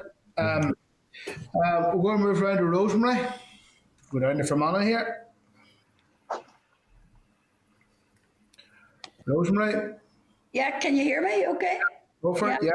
Thank you. Right. First question was on inspections, and I know, they're down to one percent. And I was going to ask around that, but you talk about you talked about the department have the the department can raise that percentage again. What would bring about the department deciding to maybe move from one percent up to three percent again? You know, what circumstances could bring the bring that about? Okay. Um, thanks, Rosemary. I was going to ask Mark if he's happy to answer that point. Yes, that would come about uh, whenever we do our analysis of the inspections each year. If we found that the you know the, the error rate and over declarations were increasing, and then we would you know we would have to look at the situation and see whether or not sort of more inspections were necessary. Now, I have to say the, the, the trend in the in the error rate has been downwards, so we're not anticipating that to happen, and we do have very good control with the LPIS mapping system because every field in the mapping system has a maximum eligible area, and we're increasingly confident. We keep that updated each year, and we're increasingly confident that that area is accurate, and therefore we we find that farmers claim no more than the maximum eligible area, so therefore we can have the confidence in the mapping system that you know that the claims are are accurate, and we supplement that with the inspections, which uh, we're planning to be at the one percent rate and we would anticipate going forward that the analysis of it would still reveal an, a, you know, a very low and acceptable error rate. But clearly, those are things we keep uh, under review because the management and control of public funds is a top priority. Mm-hmm. Right. Okay. And the second second thing I want to ask you is in relation to removing the offset penalties by limiting over declaration penalties to hundred percent uh, uh, the amount due based on area determined priority to penalty. So, can you give me a wee bit more detail on that and explain it a wee bit more, please? Going to ask Mark if he would be happy to take that one as well. Yes. Um, sometimes what we found in the past was um, maybe somebody claimed um, three thousand pound of payment, and we found a very large over declaration that say reduced their payment to say five hundred pounds. Yeah. Now, and then there was a penalty on top of that, uh, which maybe amounted to two and a half thousand. Uh, just as an example, so they were due five hundred. Now the penalty of two and a half thousand, we would have netted off the five hundred, which would have reduced their payment to zero. Then there would have been two thousand pound of a penalty still there, and that would have been netted off any payments due to that business over the following three years. But what we're taking the view now is is that if their payment is reduced to 500, the maximum penalty would be 500 pounds, which would reduce their payment to zero, and that would be the end of it. And our feeling would be is that a penalty, you know, that the maximum penalty and reducing somebody's payment to zero is sufficient deterrent against large over declarations rather than creating, you know, an additional penalty that was netted off in future years. Yes, because you had the possibility of farmers maybe two or three, two years in a row or three years in a row getting no money because of the penalties. So this here is actually reducing it. it the debt is paid off after one year, and that's that. Yes. Yes. Yes, that's clarification. Thank you. Okay, Rosemary, right. Um, Claire? Thank you, Chair, and thank you, Rosemary Mark, as well. Can I just ask you, the, when will the committee get sight of the um, agriculture policy framework? Was that supposed to be launched early 2021, early this year? Uh, I, I, can't give you a specific time, um, Claire. Um, we were discussing it with Minister Lyons yesterday in terms of a timeline, um, but the hope is that it will be before too long. Obviously, um, EU exit issues have distracted a lot of officials, or not not distracted, but reprioritised a lot of the work that we've had to take forward. Um, work is progressing, and, and in recent and a number of recent um, presentations, Minister Poots did outline his thoughts around the future direction of travel, and we would hope before the end of this session to come forward, or at least early in the next session to come forward with to committee with it with the details of that. But I can't be specific on a date at this point in time. Okay, when you say session, what do you mean by session? Sorry. Um, I mean, before you break for Easter, I would have thought in reality it'll probably be just after Easter. Um, uh, but that's not currently in your forward work program because we haven't nailed it down. In reality, I think it would be just after you come back after Easter. Thanks. And then we know that um, in mid January, I think it was the 11th of January, Minister Poots then chaired the first Green Growth interministerial group meeting, and that was with the Minister for Economy, Infrastructure, Communities and Finance, I think. Um, can the committee be informed at all of what those discussions were and any outcomes decided at the meeting? Well, um, I have to say, Claire, that neither Mark or myself have been involved in any of those meetings. Um, agricultural uh, agricultural policy and the future or future farming policy is a foundation program of green growth. Um, we can take that question away and certainly get your response to it. Okay, and is there any indication of when the committee might get sight of the green growth strategy? again, uh, we're not involved in, in the details of the green growth strategy and the development of it, so we'd have to take that one away um, and come back to the committee with an answer on that. All right, just wanted to look then at the the, um, the basic income support payments. I know that you made mention of it to us last week, uh, Rosemary, um, and I know that Minister Poots back in November um, stated that he wanted to explore the role for a basic area-based resilience payment that provided a safety net but does not blunt the incentive to become more productive and deliver better environmental outcomes. I'm just wondering, um, the, the, language for me is a bit of a signal. Well, I'm hoping it's not a bit of a signal. I mean, if we're starting to talk about basic payments, if we're starting to talk about income support payments to farmers, um, is there a rationale about why that language is adopted? Um, and, and, can we guarantee that farmers are not going to be seeing any sort of drop? Are we look? I'm just thinking uh, particularly about rural poverty, about you know farmers uh, living in poverty as well. And now that the department are going to be talking about basic payments and income support payments. Okay. Um, Claire, since 2013, the department has has operated under the EU legislation a basic payment scheme an income support scheme to farmers.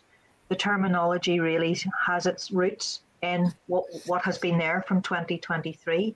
And what we're saying moving forward is, um, whilst there may be changes potentially to the conditions of that income support basic payment, resilience payment, um, it will still be there, um, slightly morphed, but the terminology hasn't changed. So hopefully you're reassured by the fact that I'm saying the basic income support payment has been there and was even there prior to 2013 because single farm payment was a basic income support payment to farmers. Um, all that we can say at this stage is that department is committed, um, minister is committed to retaining um, the current level of support to farmers. a Conservative uh, government has committed that in its manifesto.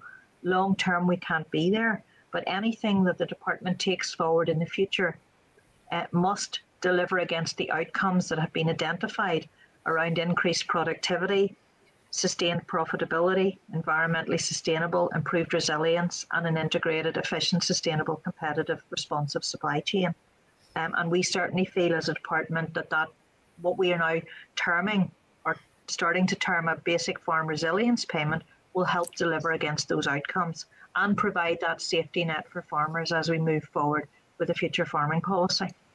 Okay, thanks. So, is there a measure then? So, if we're looking at a basic um, area based resilient payment, um, but yet looking to ask farmers to become more productive and deliver better environmental outcomes, have we got a baseline measure for current environmental outcomes in which to begin to measure that if we're going to require them to produce more? I think the simple answer to that is no. We don't have a, a baseline measure right across all farms. And one of the things that we would be seeking to do over the next number of uh, years is to try to achieve that baseline for which we can measure an improvement moving forward from. And that's currently quite an active discussion within the department in the policy areas, looking at the development of this agricultural policy framework that you talked about, and it's still very much a work in progress. So I can't give you a definitive answer today as to how we would achieve that, but it's part of very active discussions around how do we measure if the outcomes are achieved and how do we get that baseline. And, and certainly when we would come forward to you to discuss future agricultural policy, that's one of the things that we'd be talking about, the metrics that we would use in order to measure delivery against those outcomes. But it's very much a work in progress at this stage. And you think that's going to take years? Well, I don't think it's going to happen in months. I think it'll take a year or two, but I, I wouldn't necessarily say years as in 10, but I think it will take a, a period of time because, as you know, farms across Northern Ireland are very diverse. They're very different. Significant number of them are very, very small, part time. Um, so it's trying to get something that, as Minister said, he wants to bring all farmers with this future agricultural policy, he wants to bring all of them forward. Um, and it's trying to look at what we can do in steps to try to improve the overall outcomes in the future from farming. Okay, thank you, Rosemary. Thank you. Uh, William? William? And can I thank Rosemary and Mark for the presentation and can I declare an interest in uh, partner in a farm business that uh, claim single farm payment? Uh, I broadly welcome the presentation and the, the changes that uh, you're bringing forward. I think they're good and should be helpful. Uh, in relation to inspections, uh, I would suppose any gripe I would get from farmers coming to me is uh, in relation to cross compliance inspections. Some farms have been inspected almost every year, while others do, don't seem to be inspected. So I know some farms that very good farms that have inspected maybe three years in a row, and that can be very frustrating for farmers. Is there any indication that those inspections will be dealt with differently in terms of cross compliance inspections? If I can just say something, uh, William, broadly around um, what Minister Poots announced in November. Um, Minister Poots has asked us to review cross compliance, the scope of cross compliance, and the associated penalties to ensure they're proportionate. And that work is ongoing within the department. And as soon as we are able to, as a department, we will bring that work forward and discuss it with, with the committee. Um, it's not yet at that stage, but that is something that Minister Poots very actively asked us to do. Um, now we can't we can't say any more at this stage because obviously um, the work is still ongoing, but it's something that we actively have to do. And Minister Poots was very keen that we would bring that the outcomes from that work forward as quickly as is feasible to the implementation stage. Um, well, can I I look forward to that, and that would be very, very welcome because uh, there are there are definitely are issues on the ground. Okay. Okay, thank you, William. Thank you for that. And looking at my message here, I don't have any other members uh, down who are looking to speak. So um, I'd like to thank thank you for this, this, their attendance, Rosemary and Mark. Um, you um, very detailed answers to our questions, and we really really appreciate that there. So I'd like to thank you for your attendance. So um, hopefully you have a have a nice day. Okay. Thank you. Thank you very much, Chair. Thank, thank you all. Take care now. Um, thank you. Thank you, now, Rosemary. Um, okay, okay, members. Um, that was our opportunity to scrutinise the proposal laid out in the SL1, and um, and will not be possible for the committee to suggest amendments once the SR has been laid. So, um, basically, I'm put the, the following question uh, relating to the SL1 the, for the SL1, the direct payments to farmers simplification regulation 2021. Are members content with the merits of policy and, and agree that it should move to the next legislative stage? Okay. okay. And then, okay, the then the other briefing was the SL1 direct payments to farmers amendment regulations NI 2021. We've already been briefed on this agenda item, and I want to put the, this question as well. Um, for the SL1, the direct payment to farmers amendment regulations NI 2021, our members could attempt the merits of the policy and agree it should move to the next legislative stage. Yeah. Happy enough? Thank you. Um, okay. Next item on our agenda is number 11. It's the departmental written briefing, consultation on proposed fees and changes for NI participants in the UK ETS. I want to refer members to the memo from the clerk at page 144 uh, and papers from the department at 147. Uh, members will be aware that the UK emissions trading scheme, the ETS replaced the EU ETS under the terms of protocol. Uh, local power stations will remain within the EU ETS, and this accounts for the vast majority of emissions. NIEA will be the regulator for the EU, the UK ETS, and they make charges to cover the cost for this function. NIEA is now going out for consultation on the proposal that the charges for regulated activities under the UK ETS mirror these regulated for those regulated activities under the EU ETS. Um, members want to take a couple of uh, minutes to just read over the, the papers there in front of you, and uh, and then um, if there's any comments there, um, we have uh, we have John Mills, Richard Coy, and Hugh McGinn on um, uh, on on standby. If members wants to take a quick look over the what you have in front of you there, and uh, and then you can ask, anyone wants to ask any questions, just um, pop in a message there.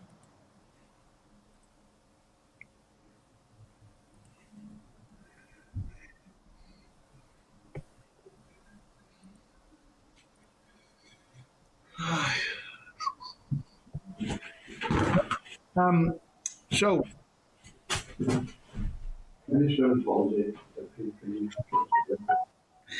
okay, so, okay, so are members content then that uh, we write to the department to request that it provides an analysis of the consultation responses and any proposed amendments that it may make as a result of these responses to the committee in due course? Yeah. That okay? Okay, members, item 12 on your agenda is correspondence. Uh, I want to refer you to correspondence received at pages 176 to 213. I want to draw your attention to the following. Correspondence from the BEIS at one, page 186 regarding its leading role in parliamentary scrutiny of the UK's role at the COP26 conference to take place in November 2021 at the Scottish Event Campus in Glasgow. BEIS wished to engage with the ERA Committee along with others. Our members content um, that. Um, that, that that that I engage um, myself and Stella engage uh, have a prim, preliminary discussion with uh, with them. Okay. Yeah. Correspondence from the department at page two ten regarding climate uh, change committee advice to it in relation to the 2050 emissions reduction target. Our members content that we identify stakeholders and write to them to seek their views on the advice from the CCC and the departmental response, which will then form written evidence for the committee for the meeting on 4th of March with the Climate Change Committee. Great. Happy enough for that? Yep. And our members content to action the remainder of the correspondence is suggested in the correspondence index page 169 to 174. Content. Okay. Um, okay, members, item 13 on your agenda is any other business. Okay. Okay. Okay. Okay. Um, okay, we're going to move then uh, quickly on now to the forward work program. I want to remember, refer members to the forward work pro- program at page 271 to 220, uh, 326 in your packs. And can I ask members to note the following that John Blair has requested that the discussion on the potential committee motion for nature friendly farming is deferred to the 18th of February. The evidence session on our contribution to net zero with the Climate Change Committee is scheduled for the 4th of March. Can I seek agreement to request a briefing paper from the Research and Information Services on what other jurisdictions, including the South, are doing regarding their contribution to net zero? Yeah. Okay. Um, there will be at least one and possibly two oral evidence sessions with DAERA on a uh, climate change discussion document before Easter recess. These will still these still have to be scheduled. As a consultation on PFG, uh, as a consultation on PFG has been published, DAERA have been asked to provide oral evidence on its contribution to PFG uh, before Easter recess. As noted last week, SES indicated that it is unable to attend on the 11th of February. Committee have staff have, on behalf of the committee, asked SES to provide a date in the next weeks when they are available to provide oral evidence to the committee. The meeting on 11th of February now has, be, has the deferred briefing on budget. Therefore, the committee consideration of written evidence uh, LAGs on future of rural development policy has been moved to 18th of February. Um, okay, on the 18th of February, DAERA have advised that additional time is required to prepare for the implications of EU exit and impact of TCA and SR's sessions and is being deferred to the 25th of February. As a result of the above, the committee work has work program is now fully booked until the Easter recess. Okay, members? John, uh, we did that committee meeting. Oh, well, where, uh, somebody, somebody turn the volume off there. so, John, Uh, okay, uh, so item number 15, date and time of the next meeting. Uh, sorry, sorry, Claire, sorry. You're all right. Sorry, Chair. You were. Um, I, I didn't quite catch it when you were referring to SES. Um, did they come back to you? Sorry, with new dates? Stella, have we got a date there? Can you come in there for um, from SES? Yes, no, Claire, we, we have gone back to them this week asking for and provided them with a list of dates that um, are now free. There's very few free. So we're just waiting for their reply, but I will chase them up again. Yeah, because I know that was the same position as last week. You know that, that they didn't confirm that they pulled out and then didn't give a new date. So I know that we're still chasing them. So just double checking. Thank you. Okay. Uh, okay, we're going to chase that up then, Claire, okay? So, date and time next meeting uh, took place next Thursday, the 11th of February, at the earlier time of 9.30am and uh, will be a virtual meeting streamed on the Assembly website. So, all the best, folks. Thanks for turning up, and I will see you virtually uh, here, or I might see you across the chamber if any of you are up on Monday, okay? Take care, everybody. Thank you. Bye-bye now. Thank you, Chair.